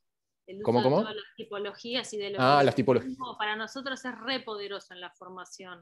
En cambio, en la antropología social y cultural hay mucho más flexibilidad en eso. Entonces, somos mucho más conservadores en nuestra formación, creo, y materialistas, y taxonomistas en, esas, en esa línea darwin, darwinista que la antropología social y cultural. Me parece, eh, me parece una observación súper pertinente, Laura. Y de hecho, uno tiene que conocer cuando viene una disciplina justamente esos sesgos ¿no? y aprender a reconocerlos para ver cuándo conviene salirse de ese molde. Eh, y es re importante, sobre todo pensando en que sistemas de clasificación hay muchos, la clasificación es todo un tema, hay este, toda una rama de estudios en sí mismo, cómo clasificar cosas. Y en general los modos de clasificación que solemos usar en muchas ciencias que no se dedican a estudiar la clasificación como algo en sí misma, eh, son modos, un conjunto muy limitado de modos de clasificación. Exploramos tres o cuatro formas de clasificación. En general nos encantan las clasificaciones que suelen llamarse de árbol, jerarquizado binomiales, así tipo lineanas, ¿no? O sea, niveles jerárquicos de mayor a menor generalidad, donde cada nivel se subdivide en dos, que se subdivide. Bueno, en el universo de las clasificaciones, ese es, ni siquiera puedo decir eh, la parte de arriba del iceberg. Eso no es ni el pico del pico del iceberg. O sea, es como unita forma y que cuando uno la trata de aplicar a cualquier cosa, eh, suele ser eh, útil solo en muy escasa cantidad de cosas. No sé si alguno de ustedes pasó por la formación docente, imagino que varios sí, pero en Argentina al menos está muy de moda un equivalente a este tipo de clasificaciones que son los mapas conceptuales. Mapas conceptuales tienen esa estructura de árbol jerárquico, no necesariamente binomial, pero casi. Y el chiste de los mapas conceptuales que se pusieron de moda, no se sabe tampoco por qué, es que cuando nos, hacían hacer ejercicios en los profesorados de aplicarlos a algún tema, el 90% de las veces era inaplicable o uno tenía que hacer unos tours de force para meter el tema en el mapa conceptual que finalmente en lugar de ser una herramienta pedagógica terminaba siendo un limitante. Porque, porque realmente funcionaba mejor una red eh, o un este, cuadro sinóptico eh, que un mapa conceptual. ¿Cómo meto? O sea, no hay acá una jerarquía tan clara entre estos conceptos, no hay categorías que se sobreponen, eh, hay límites borrosos entre categorías. O sea, ¿qué hago con esto? Bueno, no quiere decir que esas clasificaciones no sirven para nada, pero quiere decir que son un tipo de clasificaciones. Bueno, alguien, creo que Álvaro había levantado la mano, no sé si, si ahora la bajó. Sí, casualmente iba a comentar eso de la, eh, de la red semántica que unía este, varios este, nodos que podían tener varias direcciones para unir eh, diferentes temas o temas relacionados. Eso por lo menos yo egresé del pedagógico de Venezuela, la UPEL de Venezuela, y, en mi último ciclo ya estaban sacando eh, el mapa conceptual para eh, trabajar con la red semántica que nos daba más eh, prioridad para tomar este, diferentes conceptos. Bien, es, interesante lo que menciona Álvaro, porque de hecho el uso de redes y la metáfora de la red, como comentábamos, ahora también está en boga en muchos de estos marcos teóricos nuevos, como por ejemplo el giro ontológico. Pero ojo, ¿no? Ningún sistema de clasificación sirve para todo y las redes tienen sus propios problemas. Por ejemplo, si yo tengo que meter asimetrías, sobre todo jerarquizaciones, en una red es complejo, es más dificultoso. La, metáfora de la red sugiere algo más policéntrico. Por eso, por ejemplo, con los modelos de red, a veces es complicado meter el poder y la jerarquización. Entonces uno tiene que tener cuidado. O sea, Ningún sistema sirve para todo. De nuevo, son mapas. Unos nos dejan ver con mayor facilidad cierto aspecto y ocultan otros. Otros muestran otro aspecto y ocultan aquellos. Hay que ir usando los mapas que nos vengan bien a nosotros para nuestro objetivo y no enamorarse de ninguno. El mapa es la herramienta, no es lo que queremos estudiar, salvo que su objeto de estudio sean los mapas. Entonces sí, usted estudia mapas. Pero si su objeto de estudio no son los eh, sistemas de clasificación, los sistemas de clasificación son herramientas. Pero bueno, increíblemente esto de que los ciclos astronómicos son más confiables que otros, como les decía, es como algo que está metido a fuego, igual que las clasificaciones este, binomiales y jerarquizadas es para los arqueólogos. Así que, en fin, hay que eh, tener cuidado con estas cosas. Así que, gracias Teo por tus links. Esperen que vamos a pasar por acá. Típicos enfoques de investigación en astronomía cultural. Enfoque número uno, el que todos hacemos al principio, el enfoque monográfico, la astronomía de, chan, chan, chan, ponga el nombre de un colectivo humano. Eh, ventajas que tiene. Es concreto. O sea, suele ser un enfoque concreto. Va a una cosa bien definida. Suelen ser listas de asterismos obtenidas en base en general a entrevistas estructuradas o abiertas o a identificación iconográfica, si fuera arqueológico. La idea es identificar esos asterismos y ver a qué corresponden en el cielo y cuál sería la contraparte occidental, y si es posible encontrar las historias, mitos o cosas asociadas, ¿sí? o funciones económicas este, asociadas.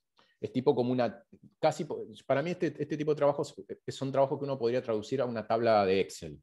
Como con filas, columnas y filas, donde que cada fila es un asterismo y cada columna es una dimensión, y entonces uno va haciendo crucecitas y luego vendría un mapa con los asterismos en el cielo y su correspondencia con la versión occidental.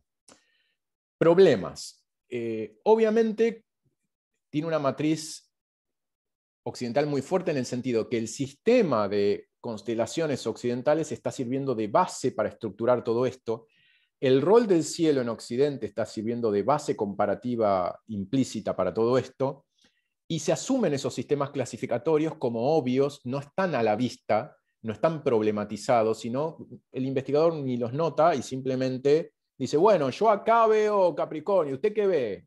Don Venancio.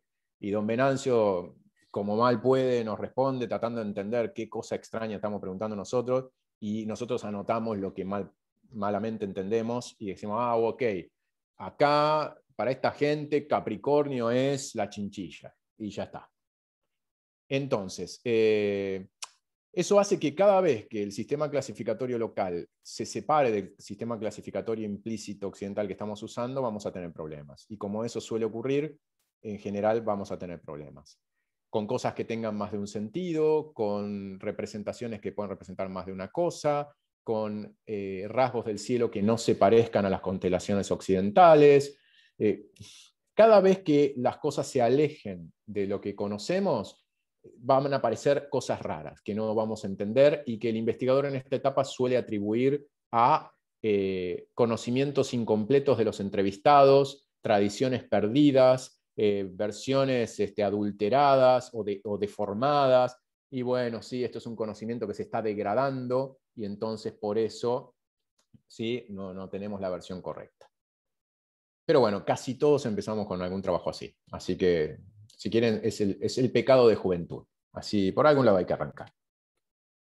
Eh, luego, otra serie de trabajos suelen tener un nivel de profundidad un poco mayor, que es, hechas una serie de monografías, las personas empiezan a decir, bueno, a ver, ¿cuáles son las lógicas de fondo que hay detrás de esto que me dijo don Venancio y el vecino y la tía y qué sé yo?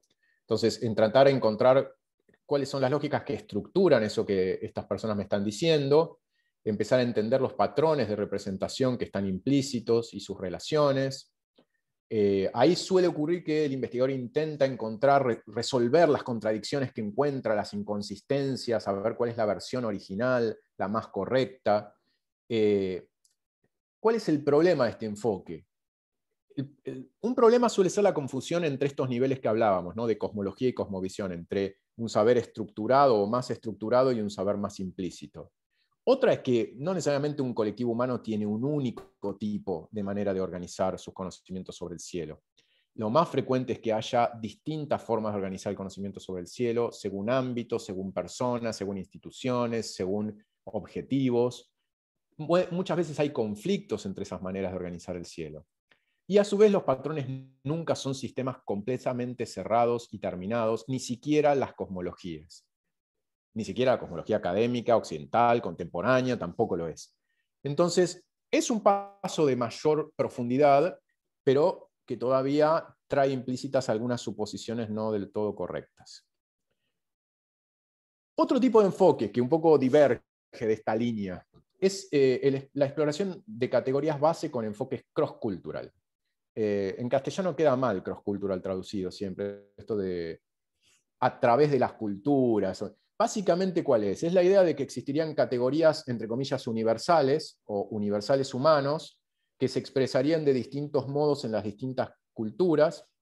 En general, el chiste es que quienes hacen estudios cross-cultural son muy, digamos, son muy frecuentes en el contexto angloparlante. A los norteamericanos les gustan mucho estas cosas.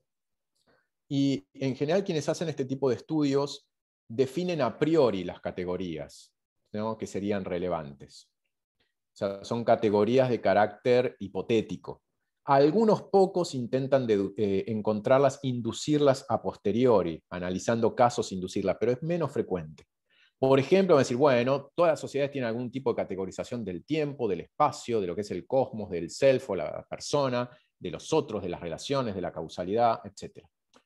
Suelen usar mecanismos más amplios como la observación participante y las entrevistas abiertas, pero como requieren material comparativo de muchos grupos, en general, la mayor parte de gente que hace trabajos así no obtiene este material por trabajo de campo propio. ¿sí? Suele remitirse al trabajo de campo de otros, tanto sea en el terreno etnográfico como arqueológico.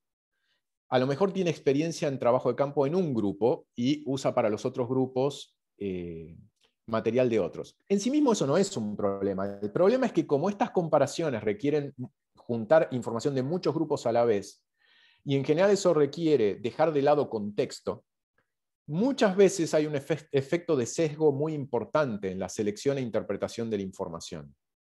Este es un enfoque que lo menciono porque cada tanto salen y es un enfoque que les gusta mucho a la gente de ciencias naturales. Entonces, cada vez que aparece alguien eh, incluso de las ciencias sociales, que hace un trabajo así, lo publican en Nature. Entonces, no hace mucho publicaron en Nature un artículo de un investigador que se llama De Huy, eh, que, trabaja con este enfoque. ¿Por qué? Porque, porque a la gente de ciencias naturales le suena como algo que puede digerir, como algo comparativo de gran escala, que, al que se puede aplicar o estadística o estadística bayesiana o redes semánticas, este, o por ejemplo autómatas celulares programados para encontrar similitudes este, redes neuronales, en fin, cosas de ese estilo. El problema es que está en la categorización inicial. O sea, el problema es que todo funciona muy lindo si uno cree en las categorías iniciales. Es un poco como el, estructuralismo de Levi-Strauss. O sea, todo está muy bien si uno está de acuerdo en cómo se llegó a la fórmula del mito. Ahora, para estar de acuerdo con eso hay que navegar un trecho largo. Entonces, acá el problema es cómo se construyen esas categorías iniciales, cuán razonables y representativas son, cuán comparables son verdaderamente y cuán independientes del contexto son. Cuando uno conoce bien un campo específico etnográfico y mira uno de estos trabajos y ve cómo ha sido pensado ese campo que uno conoce cuando se lo usa como dato en este tipo de trabajo, se da cuenta de los grandes errores que se pueden cometer. Eh, por, cómo la descontextualización puede generar una interpretación completamente sesgada del material. Entonces, son enfoques que tal vez sean útiles si uno los aplica a áreas limitadas o a grupos que tengan una conexión entre sí de algún tipo, donde el contexto sea más homogéneo y entonces la comparación tenga más sentido y donde conociendo bien uno, uno tenga cierta idea razonable del contexto del resto. Entonces, para una especie de exploración, para una teoría de rango medio, tal vez funcionen. Pero en general estos trabajos tienen pretensiones universales. Este que les digo de De Huy era un trabajo sobre el motivo de la casa de un animal que se va al cielo, en el universo mundo y sus alrededores. Es decir, todas las culturas, desde, desde que tenemos noticia hasta hoy, en todos los continentes, mezclando datos arqueológicos, etnográficos, mitográficos, entrevistas estructuradas, relatos que aparecen en un cronista, cosas de algún antropólogo de fines del 19, relatos de cronistas del 17, todo tratado igual, categorizado. Hay un ruso que tiene, ahora no me sale el apellido, que tiene una base de datos gigantesca sobre esto. Y después, bueno, en fin, cuando uno mira los resultados que se obtienen de esas cosas, en general los resultados más interesantes reproducen cosas que ya se saben por, por otras vías. Con lo cual uno tiende a pensar que probablemente justamente las categorizaciones previas están muy influidas por lo que ya sabemos y terminamos encontrando lo que ya sabemos. En fin, se los muestro. Para mí es bastante polémico, eh, pero el punto clave acá es la categorización inicial. Bueno, la perspectiva etnohistórica. Eh, estos son trabajos que intentan leer un grupo en, proceso, digamos, procesos históricos. Es interesante para hacer comparaciones, la perspectiva etnohistórica, porque suele comparar no rasgos aislados, sino conjuntos relacionados de rasgos y verlos en devenir, verlos en proceso. Entonces, eh, yo creo que es un, si a uno le gustan las comparaciones, una perspectiva histórica es interesante. Eh, sobre todo, insisto por esto, de pensar en conjuntos y no en rasgos aislados. Tiene un inconveniente que es la tendencia a enamorarse de las fases eh, más antiguas, como si eso fuera el verdadero fenómeno, y no interesarse más que como fenómenos residuales con lo que ocurre después sobre todo cuando está en el medio metida procesos coloniales. ¿no? Es decir, bueno, yo estoy haciendo un rastreo de cómo eran las ideas del cielo de los Mocoit en el siglo XVII y viendo cómo se relacionan con las contemporáneas, porque en realidad me interesa rescatar las verdaderas ideas Mocoit del siglo XVII, que son las que valen la pena, y no estas cosas. Sí, eso no, no tiene mucho sentido. Eh, no es productivo, desperdicia un montón de cosas súper interesantes, construye un montón de estereotipos, imagina un pasado estático, en fin. Pero si uno no hace esas operaciones este, interpretativas este, no tan productivas, una perspectiva histórica puede ser muy interesante. Eh, estudios regionales o por sistemas interétnicos. Yo esto personalmente se los recomiendo mucho también. ¿Por qué? Tenemos poca plata, todos nosotros. Somos todos pobres. O casi todos nosotros. Si hay alguien rico, puede levantar la mano y dona. Eh, siendo pobres, tenemos pocos recursos para hacer investigación. Entonces, lo ideal para mí, en lugares donde está emergiendo un campo de investigación, es aunar esfuerzos. ¿Cómo podemos hacer para aunar esfuerzos y poder pasar de, una, de unos trabajos más descriptivos o más abocados a un grupo a algo que tenga posibilidades de establecer discusiones, comparaciones, relaciones. Bueno, por ejemplo, estudiando sistemas interétnicos, grupos relacionados, vecinos, que comparten interacciones, fronteras, intercambios. Entonces uno puede agarrar y dedicarse a un grupo, mi colega a otro, otro colega a otro, otro colega a una manera diferente de, de abordar dos o tres de esos grupos, y construir una serie de estudios que puedan discutir entre sí. Esa es una manera para mí muy eficiente de aunar esfuerzos y de avanzar rápidamente a un nivel comparativo razonable y poder construir eh, ideas teóricas muy interesantes con poca plata o con menos plata. Entonces, eso es lo que hemos intentado en el Chaco. creo que ha salido relativamente bien eh, y me parece que es un enfoque que está bueno.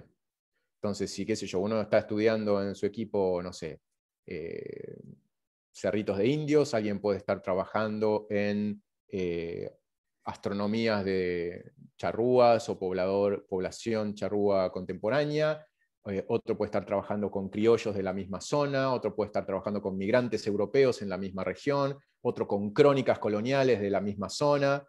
¿sí? Y todo eso junto es, es, muy potente, es muy potente. Y genera la posibilidad de armar un proyecto conjunto, pedir financiamientos, eh, interfecundar el trabajo entre todos, así que nada, yo, y es súper interdisciplinario, así que yo se los recomiendo, es una buena solución muchas veces. Para mí es mucho más efectivo que uno trabaja en una punta de Uruguay y otro en la otra, otro se va a Bolivia y hacen 15 trabajos que no tienen nada que ver ninguno con ninguno, y cuando se sienten a conversar se tienen que poner a hablar de fútbol porque no hay nada, sí, nada sustancioso para discutir y comparar. Bien, también se pueden hacer estudios por familias lingüísticas, que eso también tiene una gran riqueza, sobre todo si uno tiene un enfoque lingüístico. Se pueden hacer estudios enfocados en la variación dentro de una región o dentro de una familia lingüística o dentro de un pequeño grupo de variaciones locales. ¿no? Entonces, comparar dentro de un universo que tiene cierto grado de conexión las diferencias. Eh, se pueden estudiar las relaciones entre sistemas de conocimiento local y contextos, por ejemplo, misioneros, contextos de escolarización, contextos de eh, incorporación a estados nacionales, muy interesante también. Eh, se pueden estudiar, ahora ya no discutiendo grupos, sino enfoques, se pueden estudiar relación entre sistemas de clasificación en un grupo, por ejemplo, del cielo y de otros aspectos de la vida, que es el sistema de clasificación del cielo y clasificación de animales, clasificación del cielo y clasificación de vegetales, clasificación del cielo y clasificación de personas, etc. Eh, estudios sobre las interacciones, te decía, en el sistema escolar, eh, cómo interactúa en un contexto concreto los conocimientos extraescolares con los conocimientos escolares. Si se trabaja en pueblos originarios, esto es súper interesante y muy importante y tiene un impacto en diseñar programas de educación intercultural o en asesorar programas de educación intercultural, así que tiene impactos concretos. Eh, uno también puede hacer trabajos muy interesantes a partir de eventos sociales totales, como nuestros amigos de la microhistoria, ¿no? Es decir, situaciones que de pronto ponen de manifiesto la emergencia de concepciones en disputa sobre lo celeste o cosas que inesperadamente que no se ven habitualmente. Un ejemplo, por ejemplo, qué sé yo, es el caso de los meteoritos del Chaco, ¿no? Donde ahí ve uno, qué sé yo, van a trasladar tal meteorito, como les contaba la otra vez, y plum, ve florecer un montón de ideas sobre muchas cosas que surgen a partir de ese evento. Entonces, esto suele ser interesante también. Exploración sobre las construcciones sociales de lógicas o de sistemas causales o de relación entre cosas. Es mucho más genérico, uno tiene que trabajar para esto en un grupo que ya conozcas mucho para poder explorar como estas cosas que están bien abajo del sentido común. Uno puede ir al campo a testear una hipótesis, qué sé yo, por ejemplo, Aveni dice que entre los trópicos eh, la gente tiende a mirar lo que pasa en el cenit, ¿no? las cosas eh, que pasan en el cielo justo arriba de mi cabeza. Ok, bueno, voy a ir a un grupo, voy a llevar esta idea y voy a ver si es cierto para este grupo. Entonces me encuentro que a lo mejor no. Para estas cosas, si uno va a testear hipótesis, siempre es más divertido encontrar que no. Si uno encuentra que sí, la hipótesis general no es que queda corroborada, como ya decía nuestro amigo Popper, sino que, bueno, por lo menos no le pudimos tirar un piedrazo. Pero si uno encuentra que no y, trata de entender por qué no, hasta qué punto no, de qué manera no, ahí podemos mejorar mucho la hipótesis. Así que es un camino posible. Otro camino que ya discutimos en clases pasadas es el enfoque desde el cuerpo, de las experiencias del cielo. Así que ahí hay mucho trabajo para hacer, ya lo charlamos. El estudio de etnoterritorios y paisajes rituales que incluyen al cielo, no solo para arqueólogos, esto vale también para etnógrafos, por ejemplo, eh, geografías, pequeñas geografías locales, sus lugares potentes, sus lugares no potentes, las transiciones entre ellos, recorridos, peregrinaciones, la conceptualización local del espacio para que vienen todo de geografía cultural, acá hay mucho para trabajar, incorporando al cielo como una dimensión más de todo eso. Así que ahí también hay un montón. Eh, algunos grupos de estudios característicos. Bueno, astronomía de pueblos originarios, aborígenes, ya hemos charlado. Astronomías de especialistas dentro de pueblos originarios, no ya de todo un grupo, sino estudiar en particular la trayectoria intelectual de una persona eh, que, decimos, bueno, esta persona tiene un grado de reflexión sobre su propia tradición cultural, muy interesante. Entonces, como uno estudiaría, que se llevaría la trayectoria eh, sociointelectual de, no sé, de Einstein, uno podría hacer la trayectoria sociointelectual de un especialista de, de una sociedad X. Las astronomías criollas, es decir, de la población criolla de nuestros países, que es una compleja confluencia de muchas tradiciones astronómicas y la creación de nuevos conocimientos astronómicos, es muy interesante, muy poco estudiada y da para un montón. Astronomías urbanas, es decir, claro, ¿cómo hago para estudiar eso? Que estudio toda la, astronomía en Montevideo, muy amplio, pero sí puedo hacer una etnografía en tal barrio, puedo hacer una etnografía en una clase social, puedo hacer una etnografía en un grupo de edad, ¿sí? puedo hacer un recorte más pequeño en, por ejemplo, contextos urbanos y analizar no solo lo que dice la gente, sino lo que hace, cómo construye, cómo pasa o no el tiempo en, relación al cielo, lo que consume respecto al cielo o no. Entonces ahí hay un montón para hacer. Por supuesto, astronomías académicas profesionales, necesitamos más estudio de astronomía cultural sobre los astrónomos académicos. Es muy importante eh, para lo que ya decíamos de la simetría, etcétera, en nuestros trabajos y para entender de una manera más profunda la astronomía académica.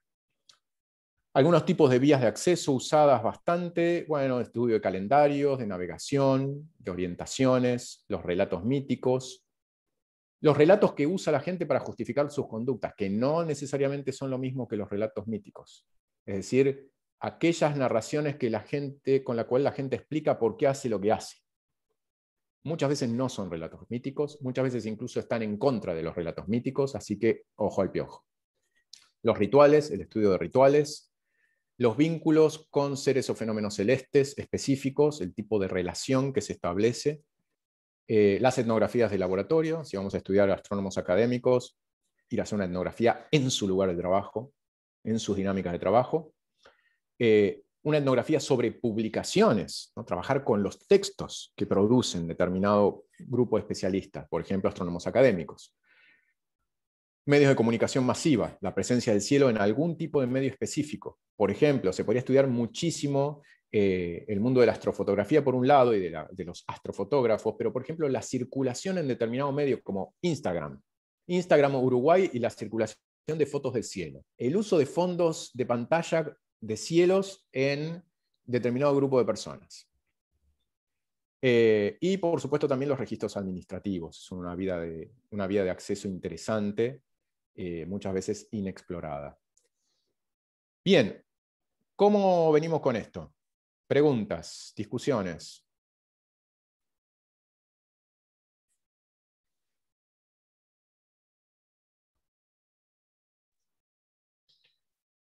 En lo particular, este, Alejandro, a mí me hace con más preguntas, con muchas preguntas interrogantes. Bien. Porque, eh, bueno, eh, siendo sincero, no había visto la, astronomía desde este punto de vista de, desde la astronomía cultural, como bien dice el, el tema de, de, de, este curso. Siempre lo había visto de, desde el punto académico, científico, o sea, y todo lo que ha prestado, lo que nos ha mostrado a todos, se ve que hay bastante, como diríamos criollamente, tela que cortar en este campo. Y con respecto a la actividad que mandaste, se mandó, eh, me desubiqué, vamos a decirlo, me desubiqué porque lo había visto en forma general demasiado grande y veo que cuando empiezas a explicar que hay que limitar mucho porque me di cuenta que, que había tomado un, había, me había planteado un tema demasiado exagerado. Entonces, allí me, me, me llevaste un poco más orientado a, a, en sí qué es lo que se, está, se quiere con esta actividad que mandaste.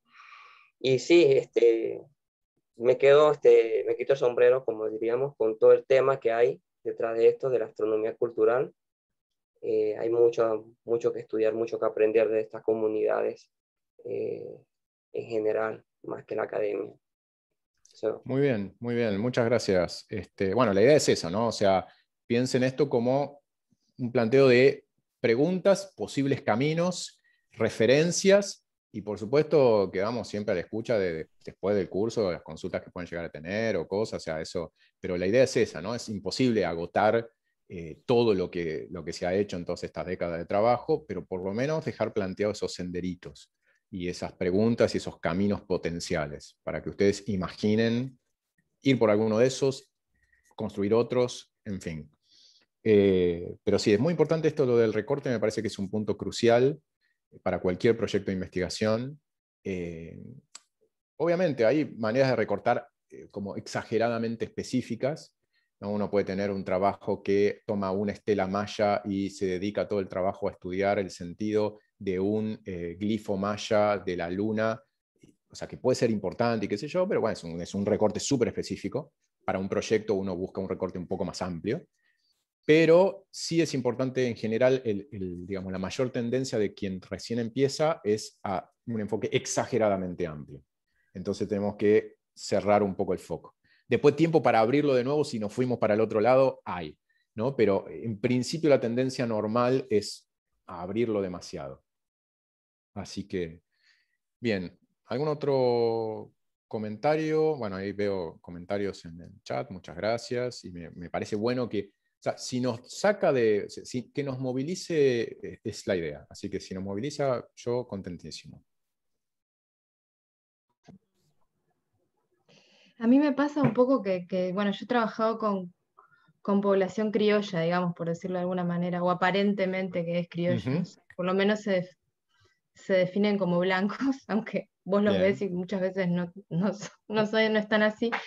Este, pero claro, me pasa a veces que yo estudié, por ejemplo, usos de plantas eh, entonces me han aparecido como cuestiones que, no, las, no les he seguido en ese momento el hilo, pero sé que hay porque ya me han aparecido, se vinculan con rituales y las plantas, o momentos del año con tal luna en tal mes, podá.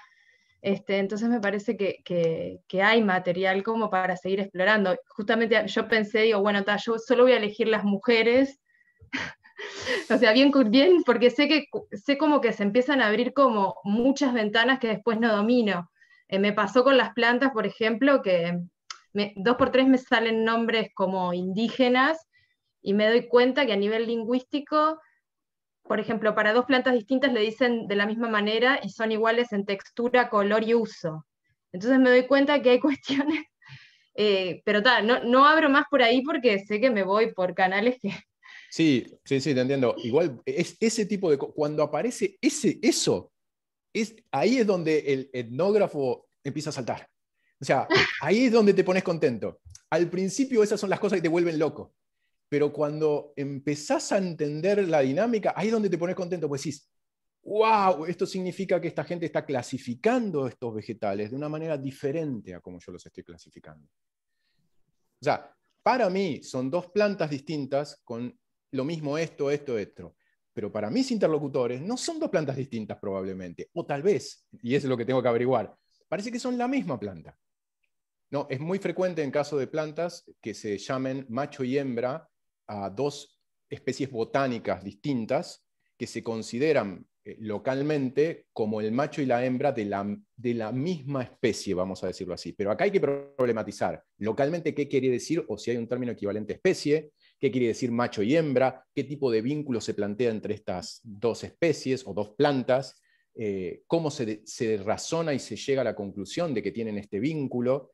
Entonces, lo interesante de eso es que cuando, viste, cuando abriste esa puerta es, ok, esta gente está clasificando de una manera que no me esperaba. Así que sí. Claro, entonces ahí, a mí como que me da la pauta de que hay un montón de cosas ocultas, de un montón de confluencia de culturas en eso que yo llamo criollo, que vos, en realidad a partir de vos empiezo como a entender eso de criollo, porque nunca lo había como categorizado demasiado el grupo, ¿no? Sí que son, por ejemplo, productores familiares. Bien, ahí lo que hay que este empezar, ¿no? O sea, uno lleva una categoría a priori, por ejemplo, la categoría de criollo en muchos lugares del mundo latinoamericano es útil, Pero lo primero que uno tiene que hacer es tratar de entender cómo se, se autoperciben estas personas y cómo lo perciben los otros colectivos que los rodean o que están junto a ellos. ¿no? O sea, entender la el, el, sistema de clasificación de grupos que hay ahí en juego es importantísimo. De nuevo, si les interesa ver esto y en relación con eh, criollos, migrantes, etcétera, el trabajo de Armando Mudrik en ese sentido es súper interesante. Él se tomó un enorme trabajo para tratar de reconstruir ese panorama de relaciones eh, intergrupales en el Chaco santafesino. Panorama complejísimo, porque tiene dimensiones étnicas, nacionales, eh, dimensiones religiosas, dimensiones regionales. Por ejemplo, tiene italianos del Fiori, que son un grupo particular que se entiende a sí mismo como un colectivo. Y después tiene judíos, pero tiene judíos lituanos y judíos eh, alemanes, que se piensan en unos sentidos como lo mismo y en otros sentidos como diferentes. Entonces, ver cómo esas clasificaciones juegan a la hora de pensar el cielo, o sea, cuáles se activan o no a la hora de pensar ciertas cosas del cielo, de las plantas o de lo que sea, es súper, súper, súper rico.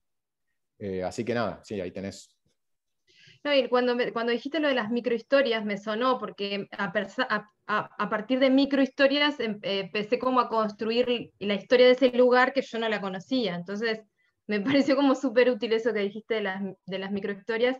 Y después de cosas como, nada, salimos a recorrer el jardín y, me van explicando para qué sirven las cosas y eso empieza a conectar con el cerro, con...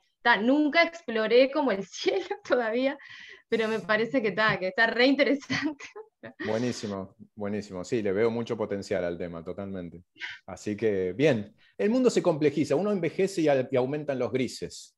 Este, para es una señal, de, no sé si es madurez o envejecimiento, pero aumentan los grises. Bien, ¿algún otro comentario o pregunta por acá? Em, yo sí quería consultarte porque eh, mi idea es, hacer el trabajo de, astronomía, de educación en astronomía y me interesa bastante eh, el tema de la investigación en educación. Y, mm, y, mencionaste a Néstor Camino, que yo tuve una charla de él que dio para docentes de, secundaria de acá Uruguay, estuvo muy buena. Y nada, quería saber si me podés pasar algún texto quizás de él o eso. Dale, dale, para, que me sirva para el trabajo, quizás. Dale, dale. Eh, después escribime eh, por mail, así yo me acuerdo y te, y te paso. Eh, sí, Néstor tiene muy interesantes textos, pero como yo les decía, sí, hay que sí, no, hay que realmente la charla, la charla fue muy, muy buena. sus charlas y sobre todo sus talleres son imperdibles. O sea, si, si ven de un taller que dé Néstor Camino, anótense, porque es excelente, construye talleres excelentes. Y si son astrónomos, a, a ti astrónomo que estás por aquí en este escuadrado, eh, tenés que ir a un taller de Néstor Camino. Eh, porque te vas a dar cuenta de muchas cosas que nosotros como astrónomos profesionales no tenemos idea de la, observación a simple vista, de la relación con el cielo a simple vista y la relación entre cielo y paisaje, que son, son una locura total. Así que sí, muy interesante. Bien, muy bien. Bueno, entonces vamos a pasar al último tramo de nuestro curso, que es discutir un poco sobre el patrimonio. Eh, que es un tema enormemente conectado con lo que nos interesa y con un montón de implicaciones concretas de gran relevancia. Así que no sé si necesitan tiempo para ir al baño o algo así. Me chiflan y sería un buen momento. ¿Quieren dos minutos para ir al baño? Y capaz que paramos eso, dos, tres minutos. Y Yo le diría dos, tres minutos, paramos, vamos todos al baño. Concertadamente puede ser que la Tierra oscile un poco en este momento. Eh, y volvemos en, en dos, tres minutos. Perfecto, hacemos así.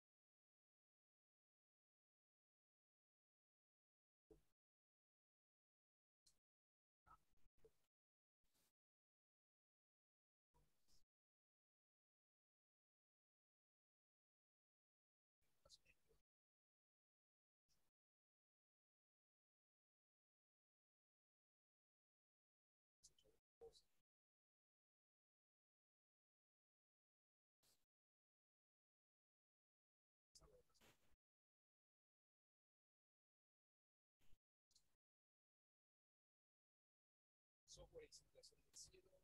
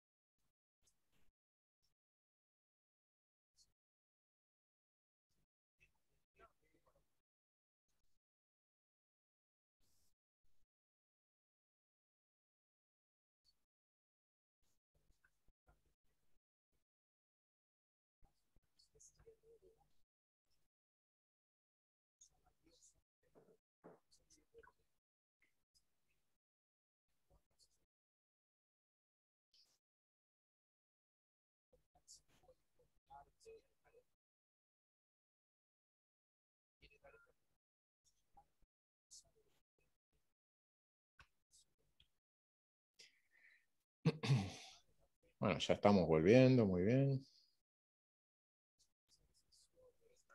Estos son los tres minutos que han pasado más rápido en mi vida. lamento este, no, poder dar recreo hoy, pero prefiero, en este caso, siendo última clase, asegurarme que podamos por lo menos abordar lo que nos habíamos planteado y este, si nos queda tiempo después terminamos antes, pero, pero prefiero que no nos queden cosas en el tintero y, y por lo menos podamos discutir un poco todos los temas. Así que, ¿qué se le va a hacer? Tiempos tiran en televisión.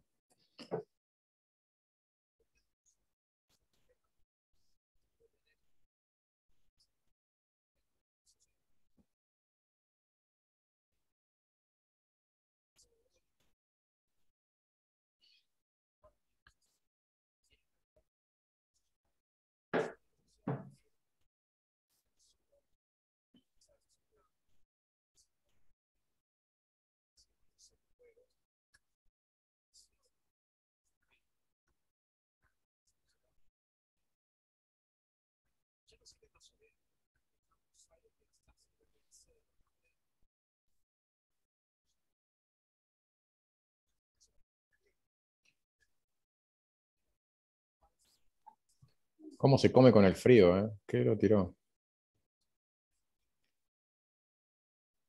En este, este momento es el que nos hace darnos cuenta de lo que, cuánto hemos perdido al tener que hacerlo virtual. Imagínense lo que estaríamos compartiendo, tortas, tartas y otros menesteres que podríamos tener ahí en una mesa común mientras hacemos esto presencial. En fin. Muy bien.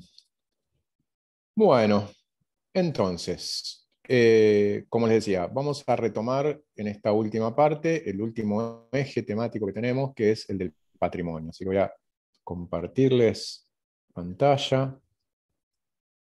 Vamos a discutir un poquito sobre patrimonio. ¿Ahí lo ven grande? Bueno, ¿se ven grandote ahí? ¿Sí? Alguno dígame que sí, para si yo no veo si están viendo en grande. Bien, perfecto. Cami, si vas a, tenés que grabar o algo así de eso, no, te olvides. Estoy, está, ya está grabando. Perfecto. Bueno, entonces, vamos a hablar de patrimonio y astronomía. ¿sí? Eh, ¿Por qué vamos a hablar de patrimonio y astronomía? Primero porque se está usando mucho eh, patrimonio como categoría eh, general no sé, tal vez en sus contextos específicos no, pero en términos generales es, una, es un término que está como en el run run cada vez más. Y que tiene un impacto profundo en políticas públicas, eh, en políticas de organizaciones no gubernamentales, en la opinión pública en general, es un término que empieza como a, utilizarse y a, a aplicarse, y en particular en las estrategias de relación con los pueblos originarios, en las estrategias de los pueblos originarios, eh, en las estrategias de los organismos nacionales e internacionales respecto a los pueblos originarios. Entonces, patrimonio empieza a aparecer por todos lados. Eh, y empieza a aparecer no solo en contexto de pueblos originarios, sino en general, ¿no? O sea, eh, recientemente, bueno, a a partir de 2009 comenzó un proceso de relación entre la Unión Astronómica Internacional y UNESCO, sobre todo a partir de ICOMOS, eh, que es la agencia que está vinculada a la Declaración de Patrimonio de la Humanidad eh, por parte de la UNESCO, y em, se empezó a trabajar en el concepto de patrimonio astronómico, e incluso en el concepto de dimensión astronómica de sitios que ya estaban declarados como patrimonio de la humanidad. Y, entonces este, se han hecho trabajos eh, no solo con sitios como del estilo de Stonehenge o cosas así, eh, también algunos tipos de patrimonio, como vamos a discutir, intangible, sino también con, por ejemplo, observatorios académicos de la tradición de la, astronomía académica occidental, como el Pic du Midi en Francia, los observatorios de alta montaña en general, etcétera, con distinto tipo de problemas de los que ya vamos a hablar.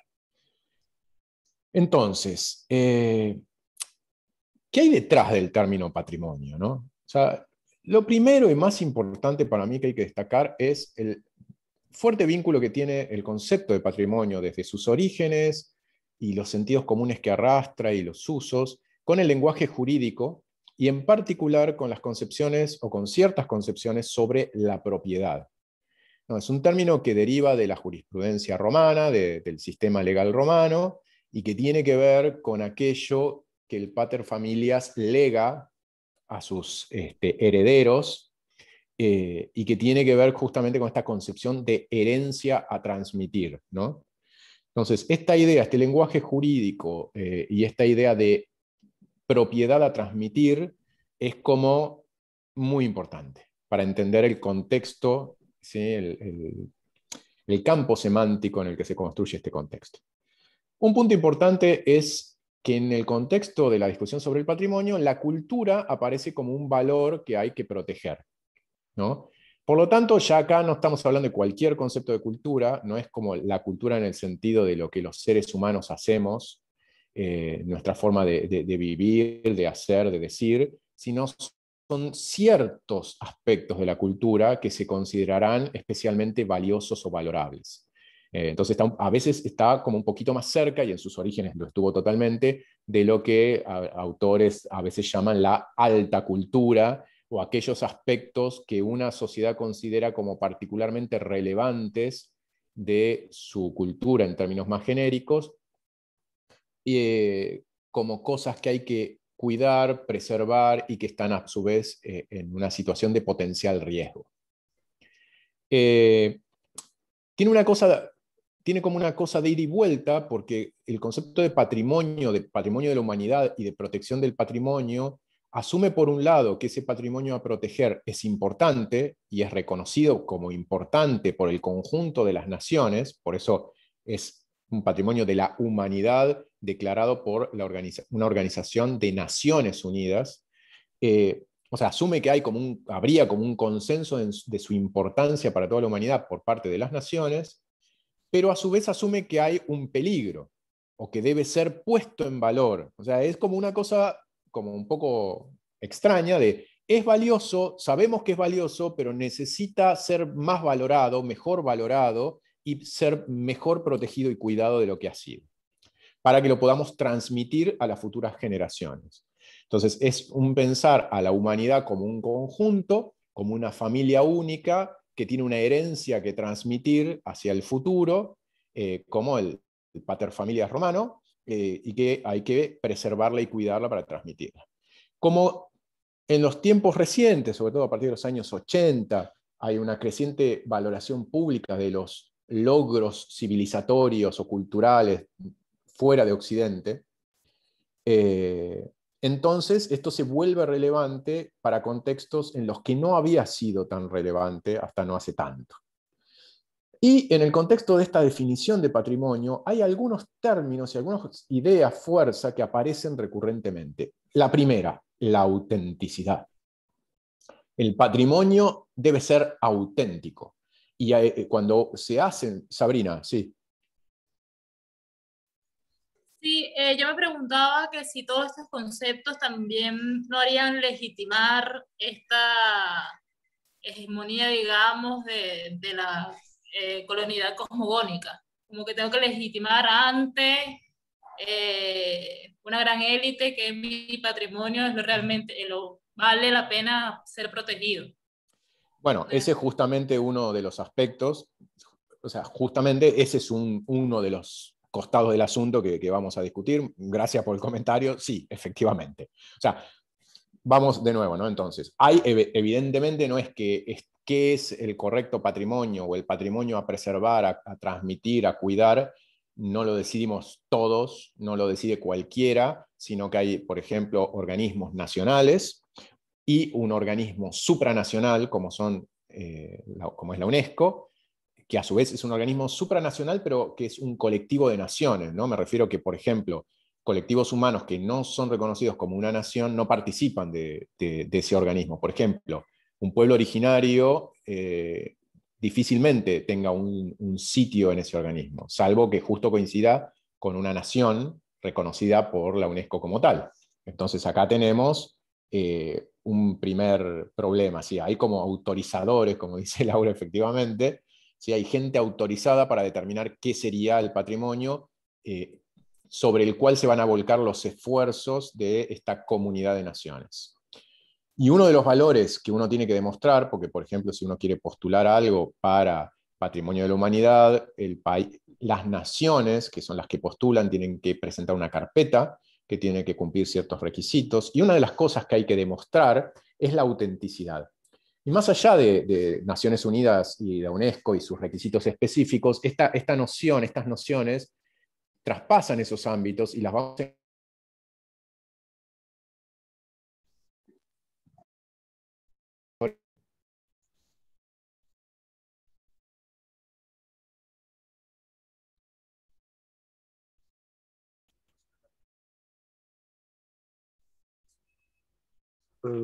escucho a Alejandro, no sé si alguien más también en la misma.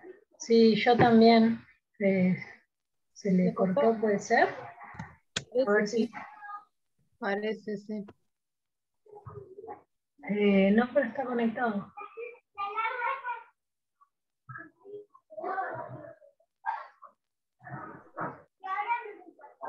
Está conectado, capaz que tiene problemas con la señal. Me estaba fijando en eso, sí, se le cortó.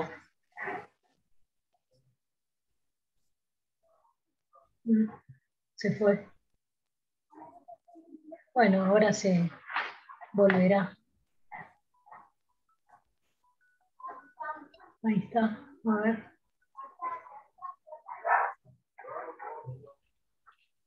Hola. ¿Cómo andas?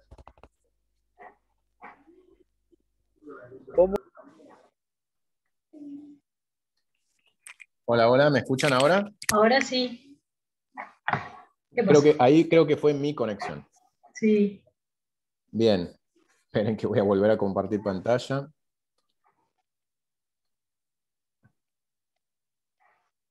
Perfecto. Y vamos a grande.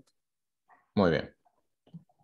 Bueno, entonces, eh, ustedes griten si no escuchan, ¿no? Si pasa algo, me avisan. Entonces, decía, la cuestión de autenticidad eh, es muy importante. ¿En qué consistiría? Eh, espera un segundo, que tengo otro problema de conexión acá. Bien. Entonces, ¿en qué consistiría esa autenticidad? ¿Sí? Eh, acá hay algo que tiene que ver con lo prístino, con lo original, con lo que es como era en un principio, toda una construcción de que eso intocado y, sin alteración sería lo importante. Eh, esta noción de autenticidad es como crucial en, esta, en estas definiciones de patrimonio y se va a volver un problema en innumerables oportunidades. Por ejemplo, cuando se quiso eh, tomar como patrimonio de la humanidad astronómico los observatorios de alta montaña, eh, el problema fue que el instrumental de esos observatorios va cambiando, porque están en activo muchos de ellos. Y hay una enorme complicación ahí con cómo hacer para declararlos patrimonio si el instrumento, el telescopio X, no es el auténtico, no es el original, no es el que estaba desde el principio. Entonces, bueno, acá autenticidad. ¿Qué sería la autenticidad? ¿Cómo estaría determinada la autenticidad? ¿Quién determinaría la autenticidad de tal o cual cosa? Y esto lleva muchas veces, como vamos a ver, a una presión importante. La segunda, la definición. Hay que definir ese patrimonio, hay que dar sus límites, hasta dónde llega, hasta dónde es, qué lo constituye, qué entra y qué no entra. Y tienen que ser bordes precisos, porque de ellos va a depender toda una serie de medidas legales que se van a tomar respecto a ese patrimonio. Esto vale para sitios y artefactos y edificios, pero también vale para el patrimonio inmaterial, que es una categoría que se usa. Eh, entonces, por ejemplo, tal costumbre es patrimonio de la humanidad, tal rito, tal ceremonia, eh, tal manera de hacer algo, pero entonces hay que preservarla auténtica, definiendo de qué, cómo sería auténticamente. Entonces, por ejemplo, la manera en que se hace la predicción calendárica de la lluvias en tal pueblo de Etiopía es patrimonio de la humanidad. Ok. ¿En cuál de sus versiones? ¿Cuál es la auténtica? ¿La de qué época? ¿La de qué pueblito? ¿La de la que lleva adelante qué conocedor tradicional? ¿Cómo se define exactamente? Muchas veces no hay una única definición, o hay límites borrosos, o son dinámicas esas definiciones. Por otro lado, hay que conservarlo esto, que significa imagínenselo como, cuando es un objeto o cuando es un lugar, es como meterlo en una, en una coraza protectora. ¿Cuán complejo es si, si, estos objetos, lugares o costumbres son cosas vivas, cosas que se usan, cosas que están activas? ¿sí? O son dinámicas, como cosas que hace gente concreta. Y en general hay una tendencia a privilegiar, junto con esta noción del patrimonio como, como una propiedad, aspectos tangibles, materiales, lo espectacular, las grandes cosas, que así como, ¿no? ¿Qué sé yo? Las pirámides de Egipto, eh, y lo singular, lo único, tipo récord Guinness, lo que no se encuentra en otro lugar, lo que ningún otro sitio se hace, lo que en ningún otro sitio se puede encontrar o se puede hallar, lo que el, el más grande, el más chico, el más extenso, el más antiguo, el más viejo, el que ve más lejos, cualquier cosa de esas. Por otro lado, todo esto obviamente está jerarquizado y el concepto de humanidad, de patrimonio, de conservar, de autenticidad, todos esos conceptos están dominados por las definiciones occidentales ¿sí? y, sobre todo aparte por las definiciones nacientes de las posiciones de los estados nacionales. que son los que tienen voz en estos contextos en general. Y por otro lado, el patrimonio y toda la discusión patrimonial en general lo que hace es, en términos globales, tiende a ocultar eh, las relaciones de poder. Ahí Ramón había puesto que la dieta mediterránea es patrimonio de la humanidad. La dieta. ¿Qué es la dieta mediterránea? ¿Qué mediterráneo? ¿Cuándo? ¿En qué momento del año? ¿En qué época de la historia? O sea, ¿qué es la dieta mediterránea? ¿no? ¿Y qué significa patrimonializar la dieta mediterránea? Que ese es el otro punto. ¿Qué consecuencias concretas tiene patrimonializar la dieta mediterránea? Eh, claro, antes o después del tomate. La dieta mediterránea, ¿con tomate o sin tomate? Porque patrimonializarla puede querer decir, por ejemplo, que para comercializar algo que lleve el mote dieta mediterránea hay que tener una autorización, o que solo ciertos eh, lugares o personas pueden poner el cartel dieta mediterránea, o cosas como esas. O sea, puede implicar consecuencias muy concretas. O que de pronto un señor, un griego que tenía un barcito en, la, qué sé yo, en el Pireo, en el puerto de Atenas, ya no puede poner en su menú que él este, da dieta mediterránea porque, no sé, usa pepino japonés, qué sé yo.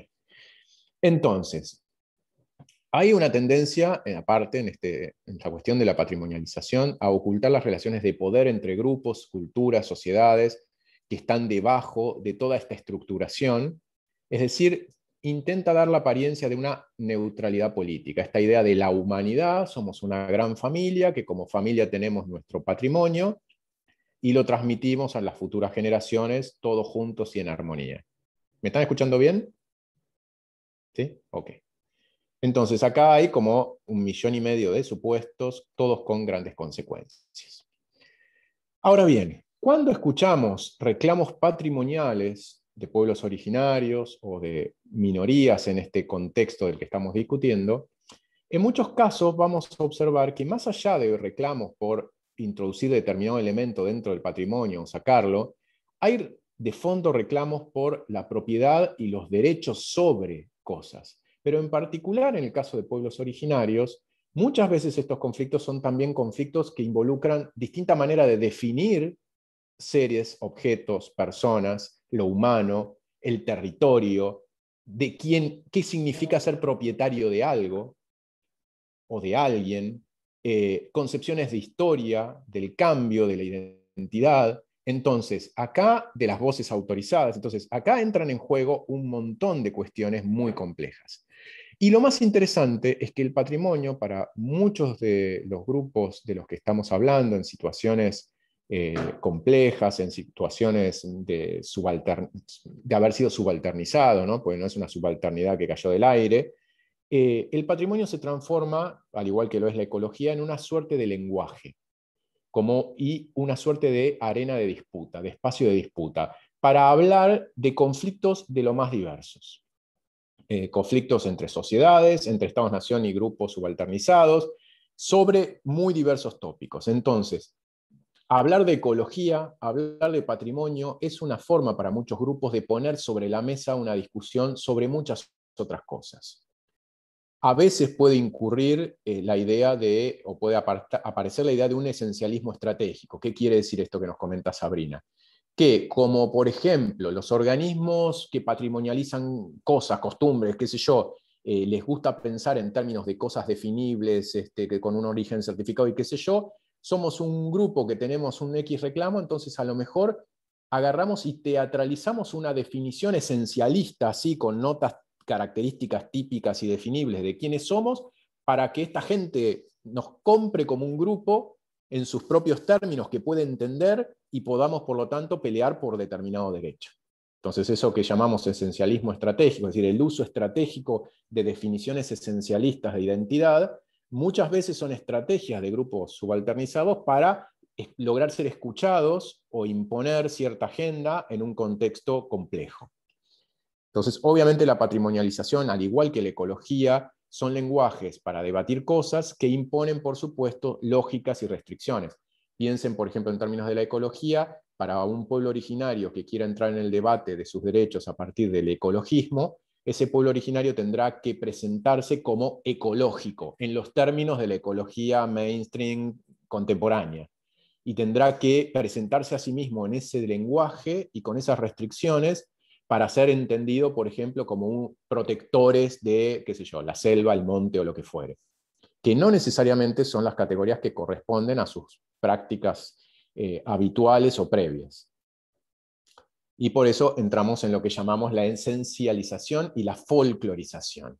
¿no? La idea de lo tradicional y lo auténtico, que muchas veces son los criterios que se utilizan para aplicar el concepto de patrimonio a poblaciones aborígenes o de pueblos originarios, que se basan en la idea de que son sociedades estáticas, que no cambian y que si cambian ya no son tan auténticas, y que de alguna manera en ellas el cambio aparece con el impacto de la colonización, pero que si queremos preservarlas, lo que tenemos que preservar es ese ser tradicional, auténtico, inmutable, que, habría estado ahí antes, etc. Esto pasa mucho y obliga a, a, muchos miembros de pueblos originarios a tener que trabajar de pueblo originario, es decir, respetar y reproducir las marcas de autenticidad que se espera que tengan para hacer que legítimamente se puedan presentar, plantear en la arena pública como miembros de un pueblo originario. Esto es muy importante como fuerza que modela un montón de comportamientos en la arena pública de pueblos originarios, en particular en relación al patrimonio. Eh, y pasa frecuentemente. Y muchas veces van a ver que cuando por algún interés de algún tipo hay un, se trata de deslegitimar un reclamo patrimonial de pueblo originario, la acusación en general va a venir por el lado de la falta de autenticidad. Eh, fíjense, usan zapatillas, tienen celulares, viven en tal lugar o hacen tal cosa, y como una manera de decir, no son lo suficientemente pueblo originario para que se pueda atender este reclamo. Entonces, en ese sentido, se concibe la identidad étnica como algo que se refiere a un grupo bien definido de características, un conjunto de diacríticos, de notas, como tal baile, tal vestimenta, tal ceremonia, tal sistema cosmológico definido de tal manera precisa, tal lengua, tal uso de la lengua, y eso definiría si vos estás o no estás dentro de ese pueblo, o incluso la existencia de ese pueblo. El pueblo podría dejar de existir porque no cumple alguna de estas características. Obviamente, esto es una definición inaplicable en la, realidad si uno quisiera atenerse a ella y ser sincero, porque todas las sociedades cambian, las sociedades orales son predominantemente dinámicas, las sociedades de acceso eh, limitado a la escritura también, las sociedades no jerarquizadas son muy dinámicas, entonces todas las sociedades humanas cambian y las sociedades con estructuras más horizontales cambian mucho más rápido porque no tienen mecanismos eh, de homogenización tan efectivos o a, propósito los desarman. Entonces, el cambio, como ya dijimos, es constitutivo de toda sociedad. Este tipo de definiciones, por lo tanto, no funcionan bien para ninguna y como dijimos en algún momento, yo no podría exigirle a los franceses que se vistieran como en la época de Luis XVI para decir que son verdaderos franceses y que Francia sigue existiendo. Pero bueno, eso es lo que les vamos a pedir a muchos otros grupos humanos que no son franceses. Eh, por otro lado, muchos de estos procesos de patrimonialización llevan a la burocratización y folclorización de estos rasgos, estas, ideas, estas prácticas, y de esa manera se las puede consagrar, transformar en una suerte de monumentos y ponerlas en valor, proceso por el cual a su vez se las separa de lo cotidiano, no se las museifica, es como se las saca de la vida y se las pone en una vitrina. Pensemos, por ejemplo, en el caso de eh, el Año Nuevo. En Argentina muchos pueblos originarios están como oficializando y burocratizando una fecha del Año Nuevo, asignándole una fecha en el calendario gregoriano. Eh, el concepto mismo de Año Nuevo es un tanto problemático para muchos de esos grupos en términos de comparación con las prácticas previas. En el caso Mocoit, por ejemplo, podemos decir que el inicio del ciclo anual, todo apunta que históricamente y antes del contacto con los españoles estaba cerca del solsticio de junio, de la, de la reaparición de las Pléyades, de la vuelta del sol, de las primeras heladas, etc. Eh, y luego había una serie de hitos en primavera, otros hitos en verano, con la maduración de los frutos. La presencia misionera hizo que esas fechas de junio muy asociadas a las iniciaciones chamánicas fueran como tratados de dejar de lado, y la coincidencia de los sitios cercanos a la primavera con la tormenta de Santa Rosa, la veneración de Santa Rosa, etc., favoreció la visibilización de ese momento. Por diversos motivos, contemporáneamente, hace pocos años, Mocoy del suroeste del Chaco impulsaron el 15 de septiembre como fecha del inicio del año Mocoy, en una lógica dominada por la relación con eh, el sistema estatal, en particular con los, ciertos municipios del sudeste del Chaco, como una estrategia de visibilización que necesitaba una fecha específica, una fecha precisa y determinada del calendario gregoriano que fuera el inicio del año y que a su vez permitiera una diferenciación entre lo mocoit y lo no mocoit. Y se eligió, ciertos líderes impulsaron el 15 de septiembre. Entonces, ese proceso que saca de su contexto original o transforma ese contexto original para adaptarse a las lógicas burocráticas y permitir de alguna manera estratégicamente visibilizar ciertas cosas, obviamente tiene como consecuencias la desaparición o invisibilización de otras. Y sobre todo, esta forma de pasar a que algo que en algún sentido estaba en el control de la propia comunidad pasa a quedar regulado de alguna manera o mediado por toda una serie de expertos del Estado Nacional o por las instituciones escolares o por los museos, etc. Entonces aparecen memorias más legítimas que otras con un criterio de legitimidad que está fuera de la propia comunidad o por lo menos parcialmente fuera. Y a su vez hay una tendencia a homogeneizar y uniformar estas prácticas. Prácticas que a veces, o muchas veces en estos grupos, por ejemplo, seguían lógicas familiares o de eh, grupos de parentesco que hacían o llevaban adelante ciertas maneras de esos procederes y no otras. Y que esas coexistían con otras maneras que se observaban en otros lugares. Eh, entonces, como decíamos, patrimonio y ecología son como un nuevo lenguaje para hablar de los conflictos, para hablar de un tipo muy complejo de conflictos, y por lo tanto, hablar de patrimonio, hablar de ecología es crucial cuando uno habla de relaciones entre pueblos originarios, estados nacionales y organizaciones internacionales. Pero el reconocimiento internacional, que a veces tiene el potencial de servir a los pueblos originarios para generar un, paraguas de protección respecto, por ejemplo, a los estados nacionales, también es complejo y si bien puede empoderar en algún sentido y proteger en algún sentido, en otros puede ser perjudicial. No hay problema, Valeria, que se tiene que cambiar de dispositivo. Eh, bien, Esperen que la flechita no anda, ahí está. Entonces, el origen occidental de muchas de las nociones que aparecen en el campo del patrimonio, estas que decíamos de identidad, de autenticidad, de cambio, de relevancia, de definición, genera un montón de riesgos, eh, tienden a ser o a reforzar la imagen de los pueblos originarios como una reliquia del pasado que hay que conservar como en un museo, eh, que de hecho fue explícitamente un poco la lógica de las reducciones en muchos lugares de América, este, no hace tanto tiempo atrás, eh, y donde las lógicas propias de los grupos suelen tener un rol muy minoritario. Eh, sin embargo, obviamente es un lenguaje que muchas veces impone como una necesidad para disputar eh, posibilidades de reclamar por derechos de, distinto tipo, y esa, y esa lucha hace que muchos grupos elijan o tomen este lenguaje del patrimonio o el de la ecología para plantearse entrar en el debate e intentar explotar el margen de maniobra, que tienen. Eh, en este contexto, un punto crucial es el tema del derecho al consentimiento libre, previo e informado, que como ustedes saben fue consagrado en el convenio 169 de la OIT y que hay muchos países que lo han suscrito. Eh, en nuestro caso en Argentina, por ejemplo, está incorporado en la Constitución para el caso de pueblos originarios, en la reforma del 94, no sé la situación en Uruguay a ese nivel, si es Uruguay es uno de los únicos dos países de toda Latinoamérica que no lo ha suscrito.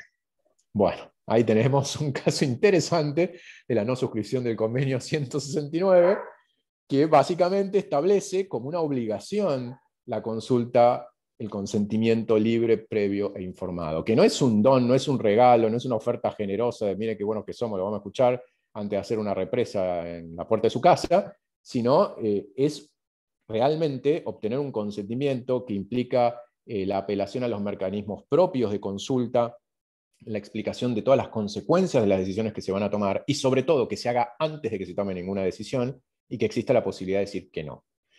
Como yo les decía, en Argentina esto tiene rango constitucional, lo cual no significa en absoluto que se cumpla. Eh, es más, yo les diría que en gran medida no se cumplen. 99,99% de los sentidos no se cumple. Eh, Teo pregunta si el otro caso es Chile. No sé, yo realmente no lo sé. No, dice. No, eh, no, me acuerdo ahora si es Belice, pero bueno, es un mm. país centroamericano seguro y de estos chiquititos. Bien, bien. Bueno, entonces, convenio 169, al menos como paraguas legales de gran importancia, que, se, que, esté incorporado en la legislación de un país no significa que se cumpla, es caso de Argentina típico. Eh, y por supuesto, eh, el cumplimiento de, incluso de, un convenio de esa naturaleza eh, debe ser interpretado en su contexto. A ver, Alejandro nos comenta que me decía que Claro, o sea, en Ecuador tienen que, para reclamar derechos, tienen que definir un territorio sagrado comunitario sí o sí. Bueno, ese tipo de cuestiones, de definiciones, en Argentina tenemos un procedimiento que tiene sus análogos, los pueblos originarios tienen que eh, registrar sus comunidades como asociaciones civiles, con personería jurídica, con toda una serie de requisitos legales de todo tipo, de memorias históricas, en fin, bastante complejos de cumplir y de llevar adelante y que implican aparte dinero, abogados, etc. Así que es todo un problema muy serio. E imaginen aparte que tiene que ver con concepciones del territorio que siempre son concepciones areolares del territorio, estas concepciones interdigitadas de las que hablábamos antes, acá no entran. Eh, o sea, es muy difícil que entren en este lenguaje, entonces eh, ciertamente todos los reclamos territoriales son súper complejos de gestionar.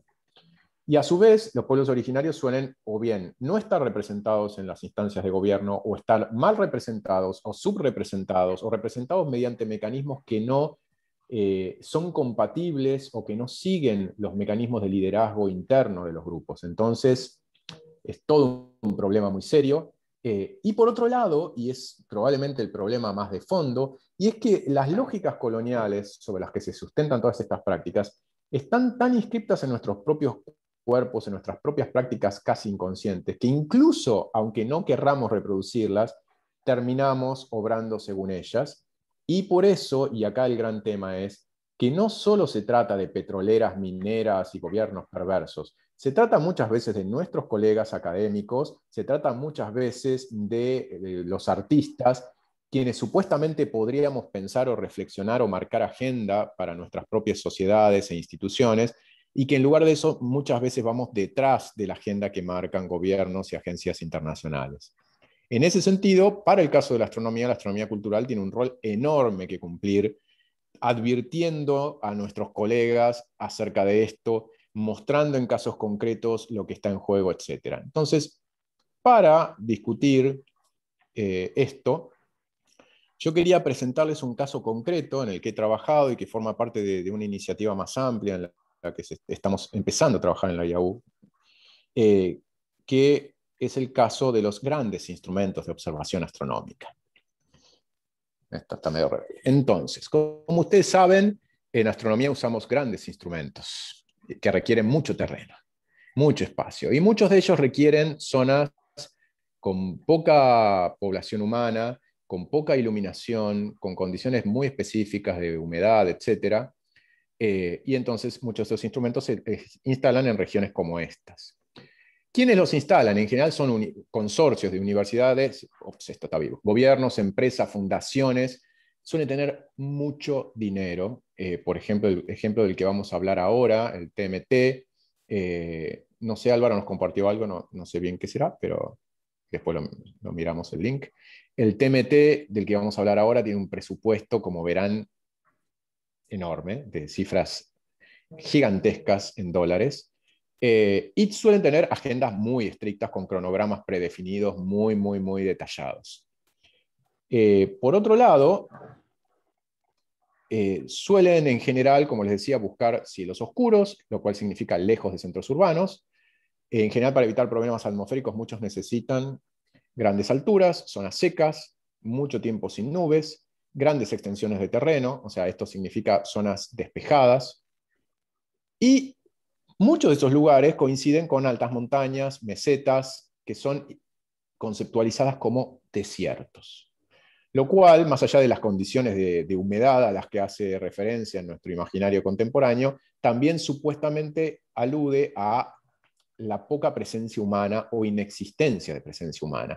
No habría grandes construcciones humanas, serían zonas salvajes, incivilizadas, este, dejadas de la mano de la naturaleza y la civilización, y a su vez sin recursos que interesen al gran capital. O sea, acá no habría una minera, no habría una petrolera, no hay nada, entonces como no hay nada, a nadie le interesa, podemos ir y poner un observatorio.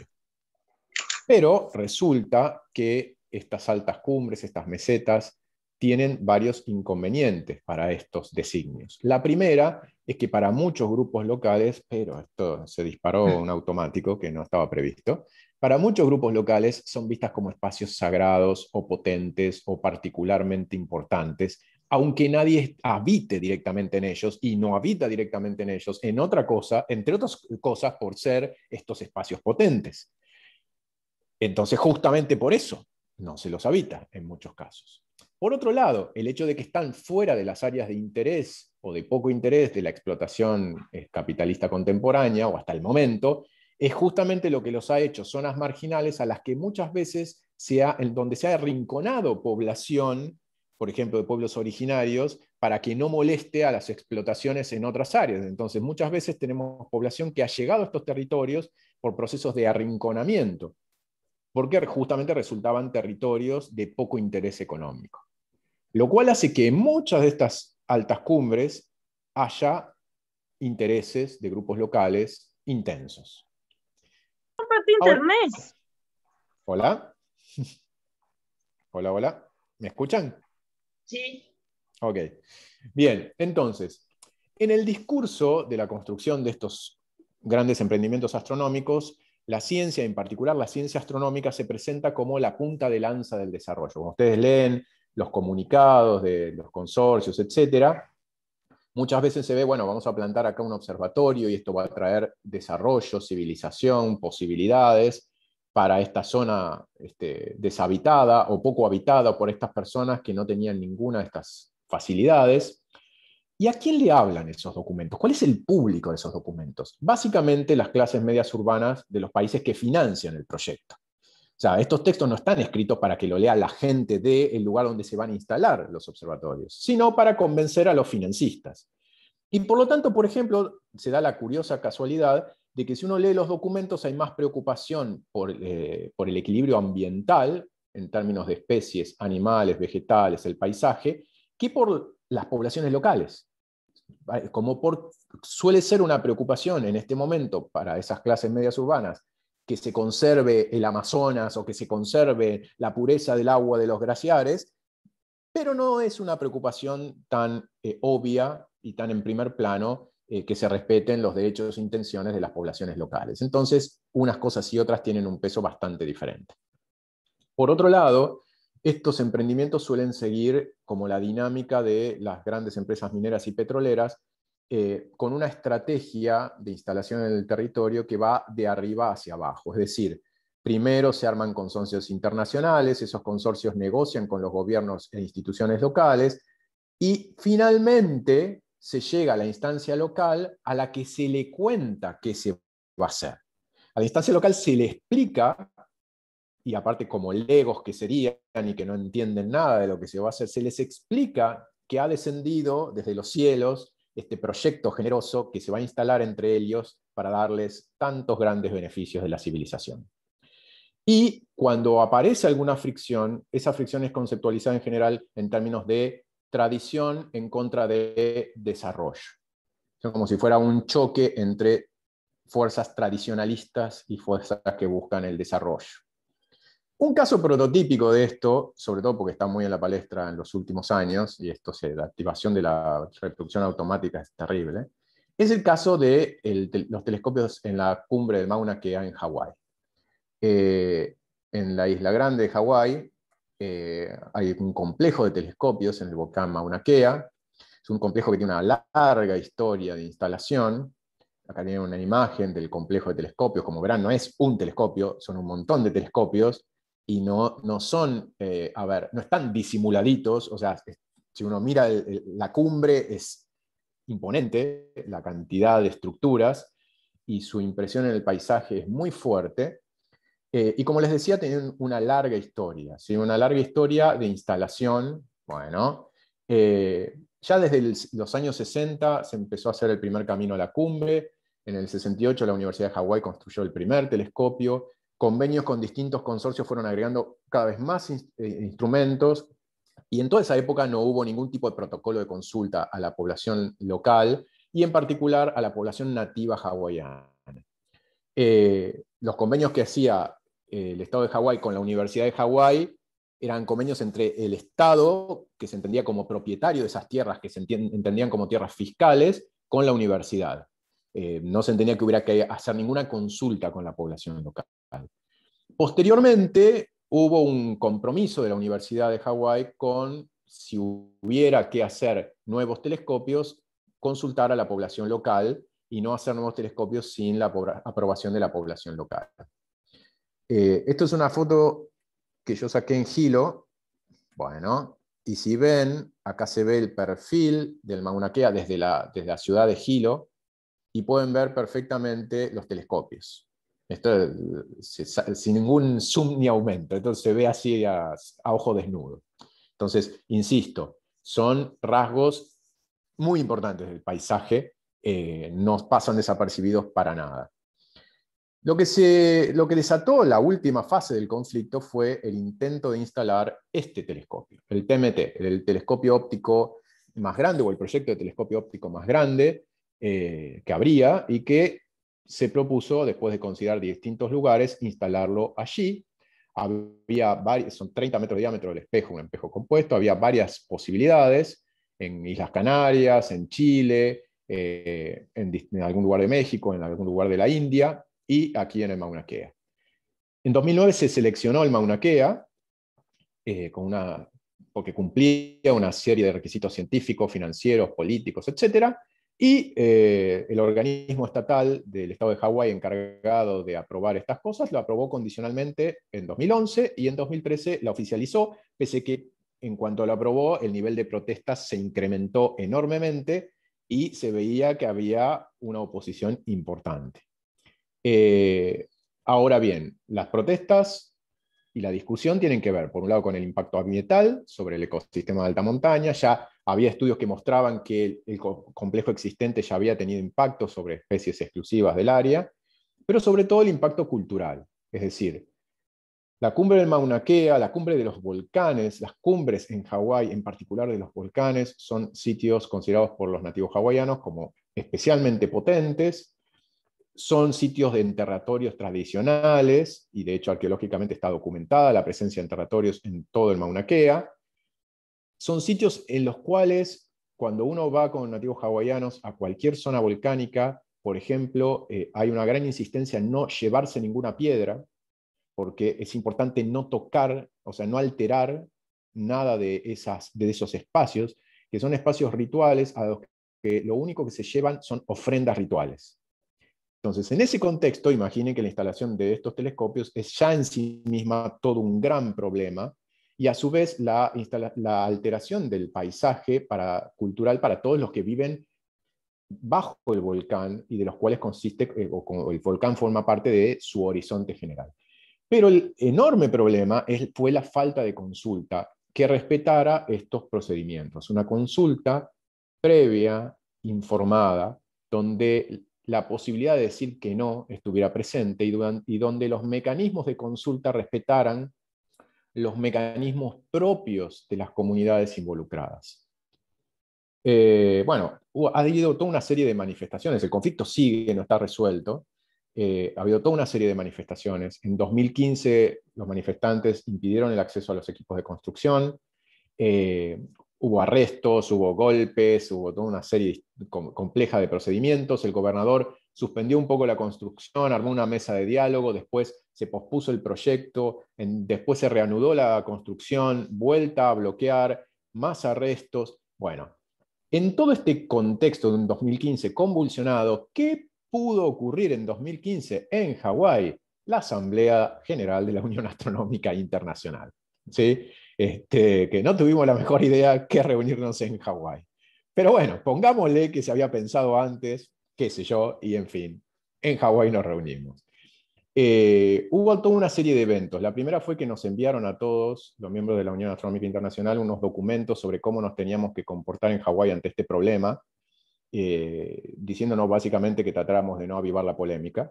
Este, y que bueno, que era un tema sensible y qué sé yo, y que había que entender, y que si nos decían algo no, no había que contestar nada, porque bueno, era un tema sensible, pero básicamente no hagamos olas. Y resultó que la asamblea comenzaba un lunes, el domingo anterior hubo una manifestación masiva en Honolulu, donde era la asamblea, de 5.000 personas, mayoritariamente nativos hawaianos, pero no solamente, eh, que se manifestaron eh, en Honolulu protestando por justamente la construcción de esto, este, o el proyecto de construcción de este nuevo telescopio. Eh, protestas que llevaban, o sea, tal vez sea difícil de identificar, pero esas banderas tipo inglesas y esas banderas de colores con algunos signos que parecen algunos remos y otros tienen como una bandera inglesa también, son toda una simbología que remite al movimiento independentista de nativos hawaianos que reclaman eh, que Hawái vuelva a la monarquía tradicional hawaiana, sea su independencia respecto a los Estados Unidos, porque Hawái fue anexado como Estado de Estados Unidos en un proceso muy complejo que incluyó una suerte de golpe de Estado blando en la que se forzó a, aplicar a la reina hawaiana del Hawái unificado, este, que se había unificado a, la época, a partir de la época de la llegada de Cook, más o menos. La última reina hawaiana tuvo que aplicar a una república y esa república rápidamente decretó su anexión a Estados Unidos, dominada por los hacendados norteamericanos que ya estaban instalados en Hawái. Entonces, en ese contexto, hay todo movimiento de nativos hawaianos que pide el reconocimiento de sus derechos políticos y en que muchos de ellos abogan por una independencia política incluso. Y esas banderas tienen que ver con eso. Eh, pero en este mismo contexto, fíjense, acá quiero que se detengan, la niña lleva una, una remera, y esto que ven detrás en la remera de la niña que está manifestándose con su familia, es eh, la genealogía del linaje real hawaiano. O sea, para que observen que aquí la protesta por el telescopio es importante, pero es la punta del iceberg de un movimiento mucho más complejo que tiene que ver con muchos más procesos y derechos que se reclaman que simplemente la cumbre de Mauna Kea. Cumbre de Mauna Kea está transformada en un ícono de esta lucha por los derechos culturales, territoriales, etc.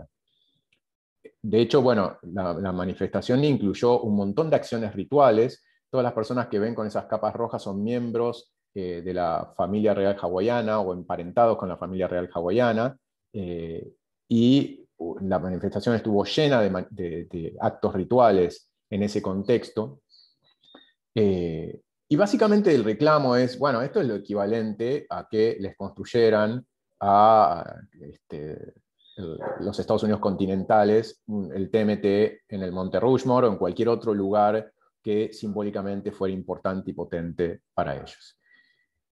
Bien, ¿cuál es el punto? El punto es que la Unión Astronómica Internacional como institución no dio, de hecho, ningún, ningún eh, espacio de expresión para estas manifestaciones.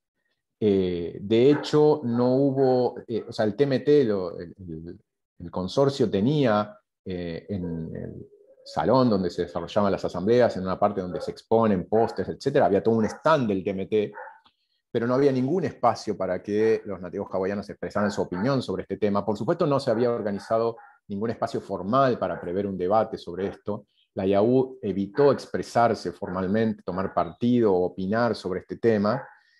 Y bueno, esto es fuente de enormes problemas porque aparte no es ni la primera vez que pasa esto, ni será la última, y hay varios conflictos eh, activos y otros tantos pasados sobre temas análogos. De hecho, en ese contexto es que eh, se formó hace poco un grupo de trabajo de la Unión Astronómica Internacional, la Royal Astronomical Society y la American Astronomical Society, para intentar, como objetivo principal, eh, formar a los astrónomos sobre estos temas y promover buenas prácticas o mejores prácticas a la hora de pensar proyectos que tengan este grado de impacto en eh, su entorno local. Así que, en fin, ese ha sido como un poco el objetivo. Eh, hay bastantes personas involucradas, como verán, mayor parte del mundo angloparlante, lo cual no deja de ser un síntoma de la situación. Eh, pero bueno, eso es lo que se está intentando hacer, que es poquito, es algo, pero que es una muestra del el potencial que tiene la astronomía cultural para incidir en prácticas concretas que tienen un impacto concreto sobre las vidas de muchas personas. Bien, preguntas, comentarios sobre esto, sobre generales.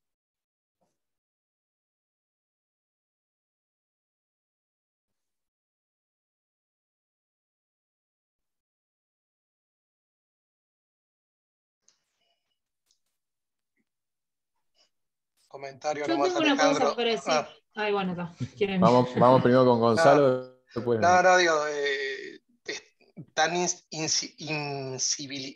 Eh, invisibilizado el tema estuvo en la asamblea, que yo, digamos, que estaba un poco por fuera digo, de, de esta temática, me quedé más con las cuestiones anecdóticas, eh, sin demasiada difusión del tema, digamos, eh, porque en los días posteriores no, no, no hubo demasiado. Y después una cosa que, que- nos impresionó bastante a mí y a mi esposa, que anduvimos recorriendo algunas de las otras islas, era que eh, en varios lugares encontramos, no manifestaciones, pero sí carteles en las casas eh, de la gente, digamos, oponiéndose a todo este tema.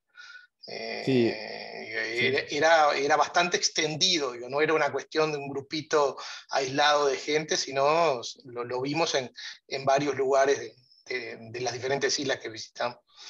Sí, es un tema, justamente, quedó muy fuertemente invisibilizado, eh, lo cual fue una decisión institucional en muchos sentidos, en muchos niveles.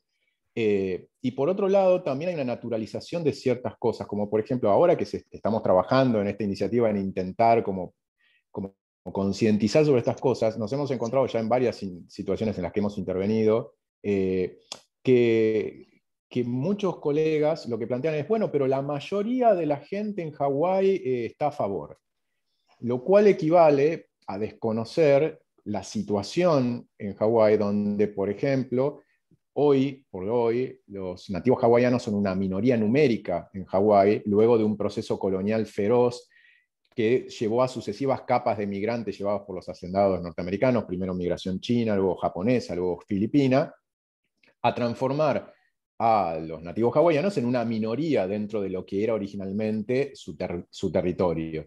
No solo una minoría en términos numéricos, sino en términos de su capacidad de decisión política, económica, cultural. Muchos de ellos tienen serios problemas de, tierras, en un contexto donde aparte Hawái es un lugar muy caro para vivir, porque este, todos los alimentos, la mayor parte se importan del continente en este contexto. Entonces, ciertamente ni siquiera el argumento de representatividad numérica en contextos así es aplicable, porque justamente, o sea, cuando tenemos minorías en situaciones de subalternidad, no se puede aplicar esos criterios mecánicamente. Entonces, pero sí, efectivamente, es un movimiento que no es para nada aislado, que ni siquiera es solo un tema con los telescopios o solo simplemente con el Mauna Kea, como, como les digo, es un tema que tiene aristas eh, políticas y culturales muy amplias, y los intentos de solución que se han buscado, que siempre partieron de la idea de que no es discutible si se va a instalar o no el telescopio. O el telescopio se instala, los que están se quedan, no hay, negocio sobre, no hay nego- negociación sobre eso. Y lo que se ha intentado siempre es, bueno, les damos, hacemos una escuela, hacemos un centro intercultural sobre astronomía eh, tradicional polinésica, como es el Centro Imiloa.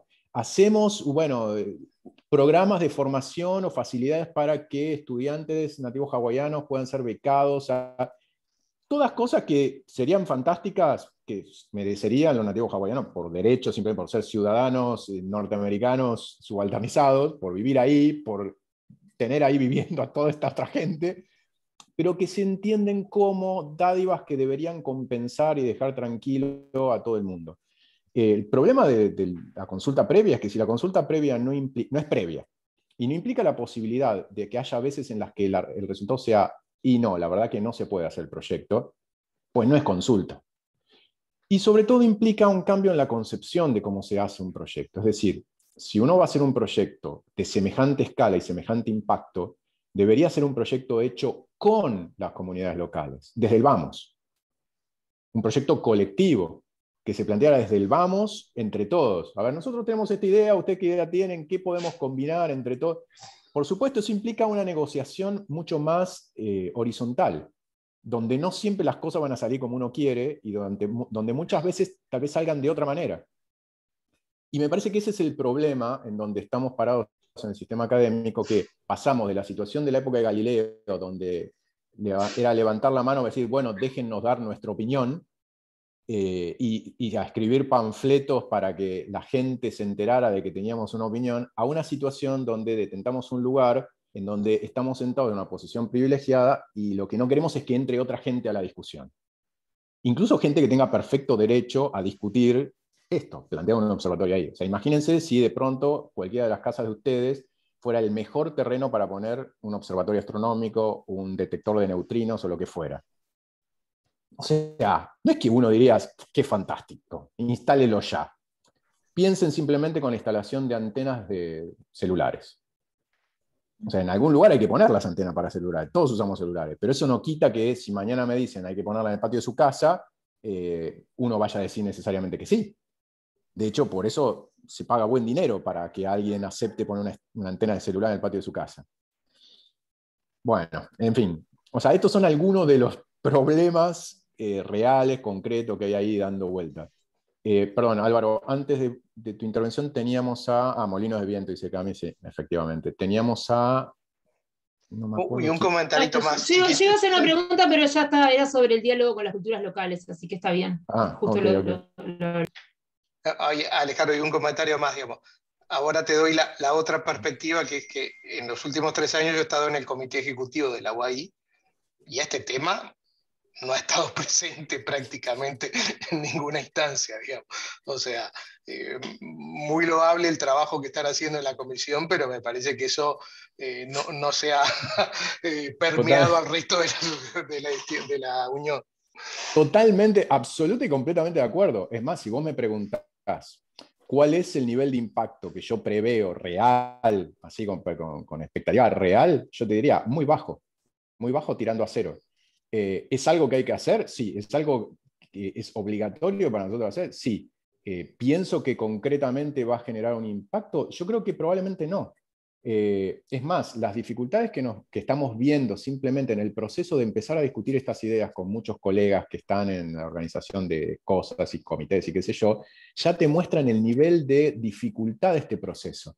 La cantidad de ideas previas que hay que desarmar para que esto funcione. Y tiene que ver con algo que mis colegas astrónomos, si nos ponemos una mano en el corazón, sabemos que es así, y es todo astrónomo, todo físico, todo matemático piensa que puede hablar cualquier cosa. Piensa que si nos dejaran gobernar el mundo en siete minutos te resolvemos todos los problemas, porque todo en el fondo se resuelve con un poco de racionalidad físico-matemática. Eh, y eso concretamente se expresa en el poco valor que se le da a, por ejemplo, voy a instalar un observatorio, que yo consulto un biólogo para ver el impacto biológico, consulto un sociólogo, un antropólogo para ver el posible impacto socioantropológico y consulto a la gente que vive ahí a ver qué le parece lo que voy a hacer. Eso pareciera como que, que parece tan evidente. No, no es evidente. Hablando de cosmovisiones, ¿no? Eh, bien, había alguien que quería intervenir. ¿Hasta Andrea? Este, sí, yo, simplemente un pequeño comentario respecto a lo que hablaban recién, que también estuve en la asamblea de 2015 en Honolulu. Este, me llamó la atención la manifestación pacífica. Eh, todos los días a la salida del Convention Center donde se celebraba la, asamblea, ellos simplemente estaban parados, ¿no? los, nativos con sus atuendos, y no hacían ninguna manifestación eh, más, que estar más que su presencia. Y, es cierto que no, tuvieron ningún tipo de representatividad dentro, de puertas adentro de lo que fue la asamblea.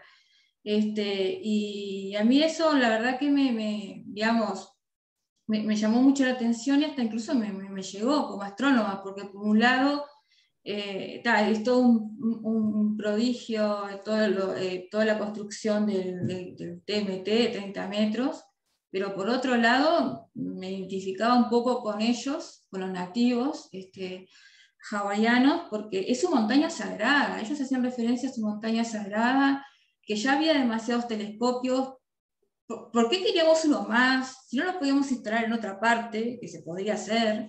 Entonces, no sé, yo ahora, este, ahora este, me, pregunto un poco estas comisiones, ahora que ha habido toda una reestructuración dentro de la UAI a nivel de, las comisiones, de las divisiones. este, bueno, Alejandro que está ahí y bueno, este, Gonzalo que ha estado en, la dirección ejecutiva. Este, bueno, él decía recién que no se te había tocado ese tema, pero yo creo que los que están estudiando la parte de patrimonio y, herencia de la UAI, no sé, me parece que, tendrían que, prestar un poco más atención a, estos aspectos, ¿no? De hacer más, digamos, más armonioso todo y que no seamos unos invasores de, estas tierras que por su excelente calidad astronómica este, las estamos como un poco invadiendo. Y no, sé qué opinas, Alejandro, al respecto de si te parece que se podrá la, UAI tomar algún papel este, o si el TMT se va a construir finalmente a pesar de todo y que los aborígenes no, realmente no lo quieren. O sea, eh, el conflicto sigue, no está determinado todavía que, que no sea el Mauna Kea el sitio, o sea, sigue tratando de insistir para ponerlo allí.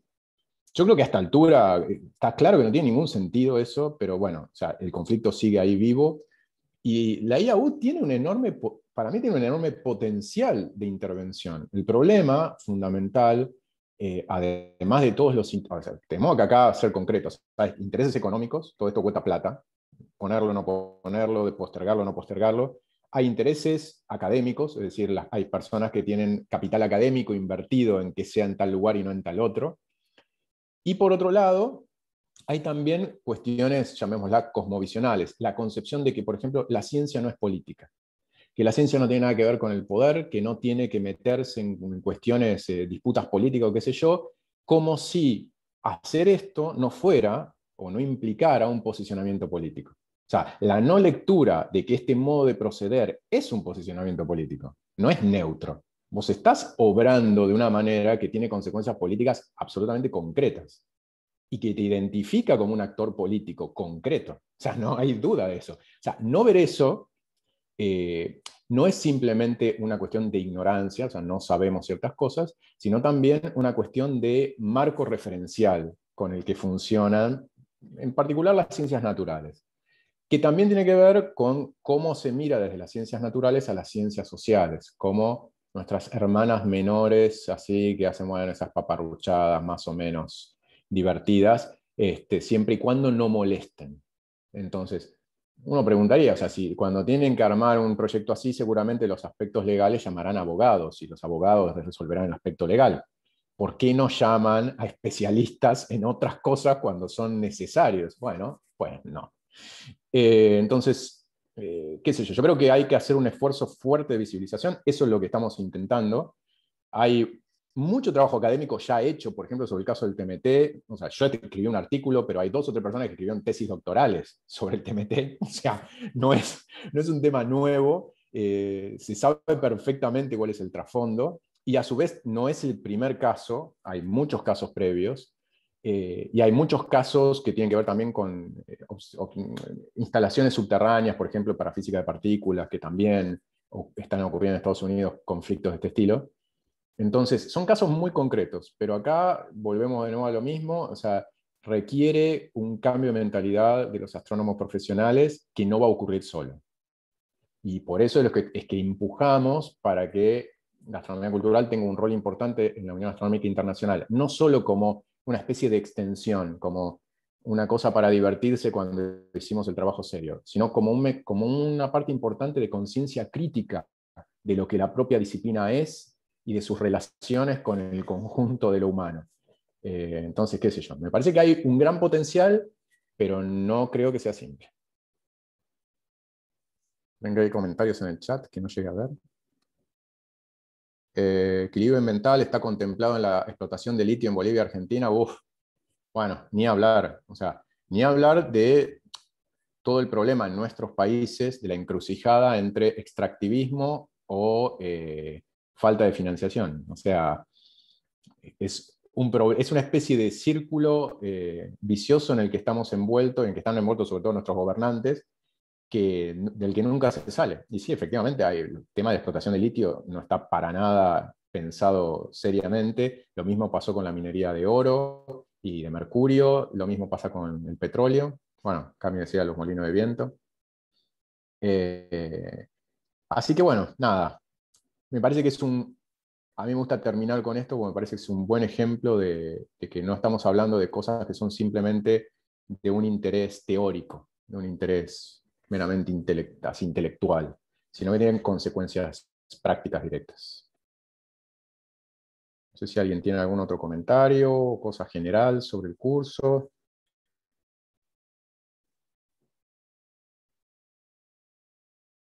Bien.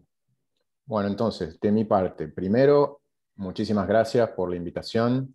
Eh, o sea, la verdad que estuvo muy bueno. Les agradezco a todos la participación, las preguntas, los comentarios, la bibliografía que tiraron.